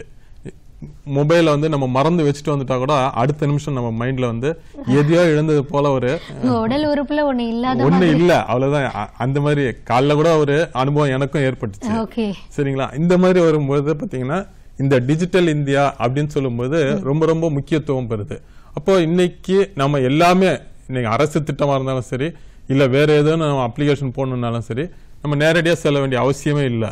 எல்லாமே வந்து நம்ம டிஜிட்டல்ல பண்ண முடியும். அதனால இன்னைக்கு டிஜிட்டலுக்கு இம்பார்ட்டன்ட் கொடுக்குறாங்க. அதே மாதிரி இன்னைக்கு பசங்க எல்லாமே வந்து டிஜிட்டல் சரியான வழியில பயன்படுத்தினாக்கா அதுல வந்து பொக்கிஷங்கள் நிறைய இருக்கு. அந்த பொக்கிஷங்களை நாம பெற முடியும் அப்படின்றது பிரைம் மினிஸ்டரோட கருத்து. ஓகே ஸோ எல்லாமே இணையதளத்துல வந்துட்டனால இணையதளம் மூலமாவே வந்து இது பண்ணிக்கலாம் அப்படின்றதும் ஸோ செய்யற விஷயங்கள் ப்ராஜெக்ட் எதுவா இருந்தாலும் டிஜிட்டல் இந்தியா கீழே செய்யலாம் அப்படின்ற ஒரு விஷயம் அடுத்தது சார் அதுக்கு அடுத்து வந்து start up India start up India வந்து இதுவும் வந்து கிட்டத்தட்ட skill India make in India மாதிரி இதுவும் ஒரு இன்னோவேட்டிவ் ப்ரோக்ராம் இது வந்து என்டர்பிரினர்ஷிப்க்கு கொண்டு வர்றது. இது க்ரோஸ் கணக்கா செய்றாங்க இல்லைங்களா? அந்த மாதிரி இண்டஸ்ட்ரீஸ் க்ரோஸ் கணக்கில் கொண்டு போகும்போது ஸ்டார்ட் அப் இந்தியா கீழே வந்துடுறாங்க. ஸோ இதை வந்து நம்ம யார் வேணாலும் இளைஞர்களாக இருந்தாலும் சரி வேற யாராக இருந்தாலும் நம்ம அணுகுமுறை த்ரூ முத்ரா பேங்க் மூலமா கூட ஸ்டார்ட் அப் இந்தியாவை நம்ம ஸ்டார்ட் ஓகே இதுல வந்து அரசு மூலமா உங்களுக்கு என்ன மாதிரியான உதவிகள் செய்யப்படுது ஸ்டார்ட் அப் இந்தியால? அரசு மூலமா அவங்க என்ன மாதிரி இண்டஸ்ட்ரி ஓபன் பண்ண போறாங்க ஓகே இதனுடைய ப்ராஜெக்ட் எடுத்து போய் பேங்க்ல கொடுக்கும்போது ஸ்டார்ட் அப் இந்தியா மூலமா அவங்களுக்கு உதவிகள் கிடைக்குது. ஓகே சார் ஸோ அடுத்ததா திட்டங்கள்? இ- இதுக்கு அடுத்து வந்து பாத்தீங்கன்னா அஹ், ஜன்தன் யோஜனா. இது வந்து ஆரம்பத்திலே பண்ணியிருக்காங்க. ஜன்தன் யோஜனானாக்கா எல்லாருக்கும் வந்து ஒரு அக்கௌண்ட் வேணும். எல்லாருமே வந்து பேங்க்ல ஒரு அக்கௌண்ட்டை கிரியேட் பண்ணணும். இது எதுக்காகனாக்கா அவங்களுக்கு சேமிப்பு பழக்கத்தை அதிகமா அதிகமாக்கணும். சேமிப்பு இருந்ததுன்னா கண்டிப்பா அந்த ஃபேமிலி வந்து நல்லா இருக்கும் இப்போ கையில நீங்க நம்ம கையில ஆயிரம் ரூபாய் இருந்தது அப்படின்னாக்கா அதை எப்படி செலவு பண்றது அப்படின்னு தான் யோசிப்போம். அதை எப்படி சேமிச்சு வைக்கிறது அப்படின்றத யோசிக்கிறதே கிடையாது. அதனால இந்த ஜன்தன் யோஜனா அப்படின்றத திட்டத்தை கொண்டு வந்தாங்க. வீட்ல நாலு பேர் இருக்காங்க. நாலு பேருக்கும் அக்கௌண்ட் ஓபன் பண்ணுங்க. நாலு பேர் வந்து சேமிக்கிற பழக்கத்தை கொண்டு வாங்க. இது வந்து நாட்டுக்கும் நல்லது உங்களுக்கும் நல்லது அப்படின்றது இந்த திட்டத்தின் மூலமா. இது வந்து சில பேர் போவாங்க. பேங்க் வங்கிக்கு போவாங்க. சேமிப்பு திட்டத்துக்காக நான் எனக்கு ஒரு அக்கௌண்ட் வேணும் அப்படின்னு சொல்லுவாங்க. அக்கௌண்ட் வேணும்னு சொல்லும்போது வங்கியில என்ன சொல்லுவாங்க? சரி அக்கௌண்ட் ஓபன் பண்ணி தரோம். நீங்க ஆயிரம் ரூபாய் கட்டுங்க ஐநூறு ரூபாய் கட்டுங்க. மெயின் ஃபர்ஸ்ட் ஸ்டார்ட் பண்ணும்போது இதை கட்டுங்க. இந்த பணம் இருந்தால் தான் கட்ட ஆரம்பிக்க முடியுன்றதுக்காக அந்த பேலன்ஸ் என்னால் கட்ட முடியலன்னு தான் யோசிக்கிறேன் அப்படின்ற ஒரு கொஸ்டினும் மக்கள் மத்தியில் வரும். அந்த மாதிரி வரும் வரும்போது அந்த கொஸ்டினே அரைஸ் ஆகக்கூடாது அப்படின்றதுக்காக நம்ம பிரைம் மினிஸ்டர் என்ன பண்ணாங்கன்னா ஜீரோ பேலன்ஸ் அப்படின்னு ஒரு திட்டத்தை கொண்டு வந்தாங்க. ஜீரோ பேலன்ஸ் அப்படின்னு சொல்லும்போது எந்த பணமும் முன்பணமா நீ கட்ட வேணாம். முதல்ல அக்கௌண்ட் ஓப்பன் பண்ணு. அக்கௌண்ட் ஓப்பன் பண்ணா ஆட்டோமேட்டிக்காக சேமிப்பு பழக்கம் உங்ககிட்ட வந்துடும் அப்படின்றதுக்காக ஜீரோ பேலன்ஸை கொண்டு வந்தாங்க. ஓகே சார் அடுத்ததா ஒரு கலர் இணைப்புல இருக்காங்க. பேசிடலாம். வணக்கம். ஹலோ உங்களுடன். வணக்கம். ஹலோ அம்மா டிவி பார்த்துட்டே பேசுறீங்க டிவி வால்யூம் குறைச்சிடுங்க இங்க போன்ல மட்டும் இருங்க. ஆமா டிவி வால்யூம் ஃபர்ஸ்ட் கம்மி பண்ணிடுங்க உங்க பெயர் தகவல்கள் சொல்லுங்க. ஆ உங்க பேர் எங்க இருந்து கூப்பிடுறீங்கன்னு சொல்லுங்க. கோயம்புத்தூர்ல ஓகேம்மா என்ன கேள்வி உங்களுடையது? எங்க பொண்ணு வந்து பெங்களூர்ல இருக்காங்க. சரிம்மா. அவங்க ஏதாவது மக்களுக்கு ஏதாவது பண்ணலாம். அந்த வேலை இல்லாம இருக்கிற எளியவர்களுக்கு ஏதாவது பண்ணலாம்னு பாக்குறாங்க என்ன மாதிரி பண்ணலாம்? யாரை கான்டாக்ட் பண்ணி என்ன பண்ணலாம்? ஓகே. ஸோ அவங்க ஆனா பெங்களூர்ல இருக்காங்க அப்படின்னு சொல்றீங்க கரெக்டா ஆமா ஆமா. ஓகே இப்போ அவங்க பண்ணலாம் சொல்றாங்க. என்ன பண்ண போறாங்கன்னு அவங்க நமக்கு தெரியணும். ஏன்னா சில பேர் வருவாங்க எனக்கு இந்த லோன் கொடுங்க அந்த லோன் கொடுங்கன்னு பேங்க்ல போய் கேட்டா கூட பேங்கர்ஸ் லோன் இல்ல. இல்ல இல்ல. சோ சமூகத்திற்கான ஏதோ ஒரு விஷயம் செய்யணும் அப்படின்னு நினைக்கிறாங்க. இப்ப வந்து அவங்க வந்து சின்ன குழந்தைங்களுக்கு பிளே ஸ்கூல் மாதிரி சும்மா அது வந்து ஃப்ரீயா தான். இந்த மாதிரி எல்லாம் படிப்பு சொல்லி தரலாம்னு பாக்குறாங்க இல்லைனாக்க இந்த வீட்ல எல்லாம் வேலை பண்றாங்க இல்லையா? அவங்களை எல்லாம் குரூப்பா வச்சு ஏதாவது பண்ணலாம். ஏதாவது ஒரு நன்மை பண்ணணும் அவங்களுக்குன்னு பாக்குறாங்க ஓகே ஹெல்ப் பண்ணணும்னு வச்சுக்கோங்களேன். எப்படி பண்ணலாம்? என்ன மாதிரி? கண்டிப்பா. இப்போ அவங்க எங்க பண்ண போறாங்கன்னு கேளுங்க. கோயம்புத்தூர் பண்ணலாம். ம். பெங்களூர்ல பண்ணணும்னாலும் பண்ணலாம். அங்க இருக்கக்கூடிய நேரு விவேகானந்தரால கான்டாக்ட் பண்ணுங்க ஓகே ஆமா ஒவ்வொரு இடத்துலயும் நேரு யுவ கேந்திரா அப்படின்ற அமைப்பு இருக்கு. அங்க நீங்க கால் பண்ணீங்கன்னா அவங்களே வழிமுறைகள் சொல்லுவாங்க அப்படின்றதுதான் சாரோட பதிலா இருக்கு. ஓகே ஓகே நன்றி. நன்றி. இணைப்பில் வந்தமைக்கு மிக்க நன்றி. சார் நம்ம நிறைய ஸ்கீம்ஸ் பேசிட்டு இருக்கோம். முக்கியமாக அதில் இளைஞர்களுக்கு என்ன பங்களிப்பு இருக்கு அப்படின்றத பேசிட்டு இருக்கோம். பொதுவாக ஒவ்வொரு ஸ்கீமும் சொல்றப்ப அதனுடைய அடுத்த கட்டம் என்ன? அதற்கு எப்படி அப்படின்றத? ஏன்னா இன்றைக்கே நம்ம நிறைய இளைஞர்கள் கால் பண்ணிக்கிட்டு போய் என்ன சொன்னாங்க அப்படின்னா நாங்கள் பார்ட்டிசிபேட் பண்ணணும் அதற்கான வழிமுறைகள் என்ன? அப்படின்றத தான் கேட்டாங்க. நம்ம அதை ஆல்ரெடி சொல்லியாச்சு. இப்போ நம்ம ஃபஸ்ட்டு பேசின விஷயம் வந்து ஒரே பாரதம் உன்னத பாரதம். அது வந்து நீங்கள் சொன்ன மாதிரி பிப்ரவரியில் வந்து காஷ்மீர் மாணவர்கள் இங்கே வந்துட்டு போயிருக்காங்க. மே மாதம் நம்ம அங்கே போகிறோம் அப்படின்னு சொல்லியிருக்கீங்க. இதை கேட்குறப்போ எனக்கே ஒரு ஆர்வம் வருது. அடுத்த பேட்ச் இந்த மாதிரியான ஒரு இந்த ஆக்டிவிட்டீஸ் அடுத்த பேட்சுக்கு எப்போ ஆரம்பிக்கும் அப்படின்றது. ஸோ எப்போ நம்ம பிளான் பண்ணுறோம் இது ஒவ்வொரு வருஷமும் பார்த்தீங்கன்னா ஜனவரி பிப்ரவரியில் இந்த பேட்ச் ஆரம்பிக்கும். மார்ச்ல முடிஞ்சிரும். இந்த ஒரு வருடம் மட்டும்தான் மேல தள்ளிட்டு போறோம். அந்த கொரோனா வைரஸ் அந்த இதுக்காக தள்ளிட்டு போறோம். இது ஆக்சுவலா ஜனவரியில ஆரம்பிச்சு மார்ச்ல முடிச்சிருவோம். ஆனா இந்த ஒரு வருடமும் இதை கண்டினியூ பண்ணிக்கிட்டே இருப்பாங்க. இவங்க ஃபோன் மூலமா கான்டாக்ட் பண்ணுவாங்க. ஃபோன் மூலமா என்ன செய்யறது நீங்க என்ன செய்றீங்க நாங்க என்ன செய்றோம். இதை ஷேர் பண்ணி இன்னும் கொஞ்சம் அவங்க ஸ்டேட்டை வந்து இன்க்ரீஸ் பண்ணுவாங்க. இந்த யூத்ஸ் இது வந்து நெக்ஸ்ட் இயர் பாத்தீங்கன்னா இதே காஷ்மீர் வரும்ன்றதே கிடையாது. சார் அது குறித்து பேசலாம் சார். நேயர் இணைப்பில் இருக்காங்க. வணக்கம். ஹலோ உங்களுடன்? ஹலோ. வணக்கம் சார். யார் எங்கேருந்து பேசுறீங்க? மேம் விக்னேஷ் விழுப்புரம். ஓகே. உங்க கேள்வி என்ன அப்படின்னு சொல்லுங்க. நேரு யுவகேந்திர அமைப்பு அதோட நோக்கம் என்னன்னு தெரிஞ்சுக்கலாமா? நீங்க ப்ரோக்ராம் ஸ்டார்டிங்ல இருந்து பாக்குறீங்களா? இல்ல மேம் நடுவுல தான் பார்த்தோம். அதனால தான் இந்த கேள்வி வந்திருக்கு. பரவாயில்ல உங்களுக்கு சார் ஒரு முறை மற்றொரு முறை சொல்லிடுவாரு. நேரு முதல்ல அந்த கேள்விக்கு சார் பதில் சொல்லிடுவாரு சார். காத்திருங்க. ஆன்லைன்ல சொல்லிடுங்க மேம். சார் நீங்க ப்ரோக்ராம் ஸ்டார்டிங்ல இருந்து பாத்திருந்தீங்கன்னா இந்த கேள்வியே கூட வந்திருக்காது. உங்களுக்காக நான் இன்னொரு முறையும் சொல்ல சொல்றேன். காத்திருங்க. நன்றி. நேரு கந்தரோட நோக்கமே வந்து இளைஞர்களை வழி நடத்துறது. இளைஞர்கள் வந்து அவங்களே வந்து அவங்க வேலையை செய்யணும் அப்படின்றது தான் நேரு கந்தரோட நோக்கமா செயல்படும் ஓகே ஒரு விஷயத்த முழுமையா செய்யணும் அப்படின்றதையும் சார் ஆரம்பத்துல இருந்தே சொன்னாரு. அதுக்கு காரணம் நீங்க தான். ஏன்னா ப்ரோக்ராம் ஸ்டார்டிங்ல எங்களுடைய முதல் விஷயமே சார் சொன்னது நேரு யுவ கேந்திரா எதற்காக செயல்படுது யாருக்காக செயல்படுது அப்படின்றதா சொன்னாரு. நிகழ்ச்சியை பாதியில இருந்து பாக்குறோம் நிறைய விஷயங்கள் விடுபட்டுருச்சு அப்படின்னு நீங்க யோசிச்சீங்கன்னா இந்த வீடியோ வந்து நம்ம பொதிகையில ஒளிபரப்ப ஒளிபரப்பாகும் ஒவ்வொரு நிகழ்ச்சியிலையும் நம்ம யூடியூப்ல அப்லோட் பண்றோம். அங்க வந்து நீங்க வந்து பார்க்கலாம். டிடி பொதிகை அப்படின்னு நீங்க டைப் பண்ணீங்க அப்படின்னாலே நம்ம இதுல ஒளிபரப்பாகும். அனைத்து நிகழ்ச்சிகளும் அங்கேயும் இருக்கும். ஸோ நீங்க முழுமையான தகவல்களை அங்கேயும் தெரிஞ்சுக்கலாம். சார் நான் நம்ம பேசிட்டு இருந்தோம். அந்த ஒரே பாரதம் உன்னத பாரதம். அடுத்த வருஷத்துக்கு எப்போ ஸ்டார்ட் பண்ண போறோம்? என்ன பண்ண போறோம்? அது அதான் அடுத்த வருஷம் ஜனவரியிலேருந்து இது இந்த நிகழ்ச்சி திரும்ப ஆரம்பிக்கும். இது- காஷ்மீரே பேரா வரும்னு சொல்ல முடியாது. ஒவ்வொரு வருடமும் மாறிக்கிட்டே வரும். வரக்கூடிய ஸ்டேட் வந்து மாறிடும்.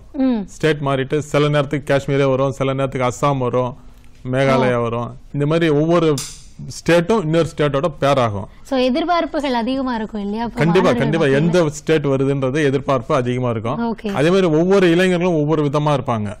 அந்த மாதிரி வரும்போது இந்த தமிழ்நாட்டு இளைஞர்கள் அடுத்து இந்த வருஷமே காஷ்மீர் வந்தாங்க. காஷ்மீர்ல நாங்க வச்சிருந்த அந்த எண்ணம் எல்லாம் மாறி போச்சு அப்படின்னு சொல்ற போது நமக்கு பெருமையா இருக்கு. அடுத்து என்ன ஸ்டேட் வருவாங்கன்னு எங்களுக்கும் கேள்விக்குறி தான் ஏன்னா ஒரு ஒரு ஒரு ஸ்டேட்ல இருந்து வரக்கூடிய இளைஞர்கள் ரொம்ப சாஃப்டா வந்து போயிடுவாங்க. ஒரு ஒரு இளைஞர்கள் வரும்போது வரும்போதே எதிர்பார்ப்பு ரொம்ப அதிகமா இருக்கும். எதிர்பார்ப்பு அதிகமா இருந்து அவங்கள வந்து கன்வின்ஸ் பண்ணி கரெக்டா கொண்டு போகணும் அப்படின்றதுல நாங்களும் முனைப்பா இருப்போம். இந்த மாதிரி எல்லாம் வரும்போது கண்டிப்பாக வந்து நம்ம பாரதத்தை வந்து உன்னதா பாரதமாக மாற்ற முடியுமானாக்கா கண்டிப்பாக நம்ம மனசு வச்சா ஈஸியாக மாற்றிட முடியுன்றது ஓகே கண்டிப்பா நீங்க சொல்ற மாதிரி இந்த முறை காஷ்மீர் வந்தது அடுத்த முறை எந்த மாநிலம் அப்படின்றது எல்லாருக்குமே ஒரு சஸ்பென்ஸ் அப்படின்றது. ஏன்னா அந்த மாநில மாணவர்களுக்கும் நம்ம எங்க போக போறோம் அப்படின்றது இருக்கும். குறிப்பா அந்த வடகிழக்கு இந்த மாதிரியான மாவட்ட சாரி மாநிலங்கள்லாம் நம்ம யோசிக்கிறப்பவே நம்ம போவோமா அப்படின்ற ஒரு எண்ணம் இருக்கும். அதற்கு இது ஒரு வாய்ப்பா இருக்கு எல்லா இளைஞர்களுக்கும். அடுத்த வருஷம் அந்த ஐம்பது மாணவர்கள் அந்த செலெக்ஷன் எப்படி இருக்கோ இப்போ நிகழ்ச்சி பார்த்துட்டு இருக்க போய் ஒரு கேரள இளைஞர் கேட்டாரு எனக்கும் இந்த மாதிரிலாம் ஆசையா இருக்கு. இதுல நான் பங்கெடுத்துக்கணும் அப்படின்ற மாதிரி. அடுத்த வருஷத்துக்கு வந்து பங்கெடுத்துக்கணும் அப்படின்னா இப்பவே வந்து என்ன வழிமுறைகள் அப்படின்றத சொல்லிடலாமா சார் வழிமுறைகள்னு சொல்றதை விட இப்போ வந்து அவங்களோட அவங்களோட ஆக்டிவிட்டிஸ் நேரு விவேகானந்தராக்கு தெரியணும். நேரு விவேகானந்தரா இந்த மாதிரி ஒரு இளைஞர்கள் புதுமையா பண்றாரு அப்படின்னு சொல்லும்போது நாங்க விட மாட்டோம். கண்டிப்பா இவர் புதுமையா பண்றாரு. இவர் வந்து அங்க அனுப்பிச்சு வச்சோம்னா நிச்சயம் வந்து அது யூஸ்ஃபுல்லா இருக்கும் அப்படின்றது தான் எங்களுடைய நினைப்பா இருக்கும். அதனால அந்த மாதிரி ஒரு புதுமையா அவங்க ஏரியால பண்ணாங்கன்னா எங்களுக்கு தெரியப்படுத்தினா நல்லா இருக்கும். இது வந்து ஒரு வழிமுறை தான் கண்டிப்பா சார். ஏன்னா நிகழ்ச்சி ஆரம்பத்திலேயே நம்ம சொன்னது வேற்றுமையில ஒற்றுமையா இருக்கும் அதுலயும் அந்த நட்புணர்வை வளர்க்கறதுக்காகவே இளைஞர்களை வந்து எய்ம் பண்ணி நிறைய ஸ்கீம்ஸ் நம்ம கொண்டு வரோம் அப்படின்றது. இன்னைக்கு நீங்க நிகழ்ச்சியில சொன்னது எல்லாமே வந்து இளைஞர்கள் மத்தியில ரொம்ப ஒரு ஆர்வம் அவங்களுக்கு ஏற்பட்டிருக்கு. அதை வந்து மீண்டும் நீங்க பார்க்கணும் அப்படின்னா யூடியூப்லயும் பார்க்கலாம் அப்படின்னு சொல்லியிருக்கோம். நிறைய ஸ்கீம்ஸ் நிறைய உன்னதமான திட்டங்கள் வந்து செயல்படுத்திட்டே இருக்கும். தொடர்ந்து உங்களுடைய பணிகள் சிறக்கணும் அப்படின்னு சொல்லிட்டு இன்னைக்கு நிகழ்ச்சியில வந்து கலந்து கொண்டதுக்காக மிக்க நன்றி சார். நன்றிமா நேர்கள் அனைவருக்குமே இன்னைக்கு நிகழ்ச்சி ஒரு புத்துணர்ச்சியாகவும் புதுமையான நிகழ்ச்சியாகவும் இருந்திருக்கும் அப்படின்னு நான் நினைக்கிறேன். ஏன்னா இளைஞர்களுக்கு அப்படின்றப்போ அவங்களுக்கு எதுல சுவாரஸ்யம் இருக்கும் அவங்களுடைய அனுபவம் எதுல தேவைப்படும் அவங்க கிட்ட எந்த விஷயத்தை கொண்டு போய் சேர்த்தா அவங்க சிறப்பா எடுத்துட்டு போவாங்க இது போன்ற விஷயங்கள் எல்லாமே சார் சொல்ல நம்ம கேட்டுட்டு இருந்தோம். மற்றொரு நாள் மற்றொரு நிகழ்ச்சியில் உங்களை சந்திக்கும் வரை நன்றி.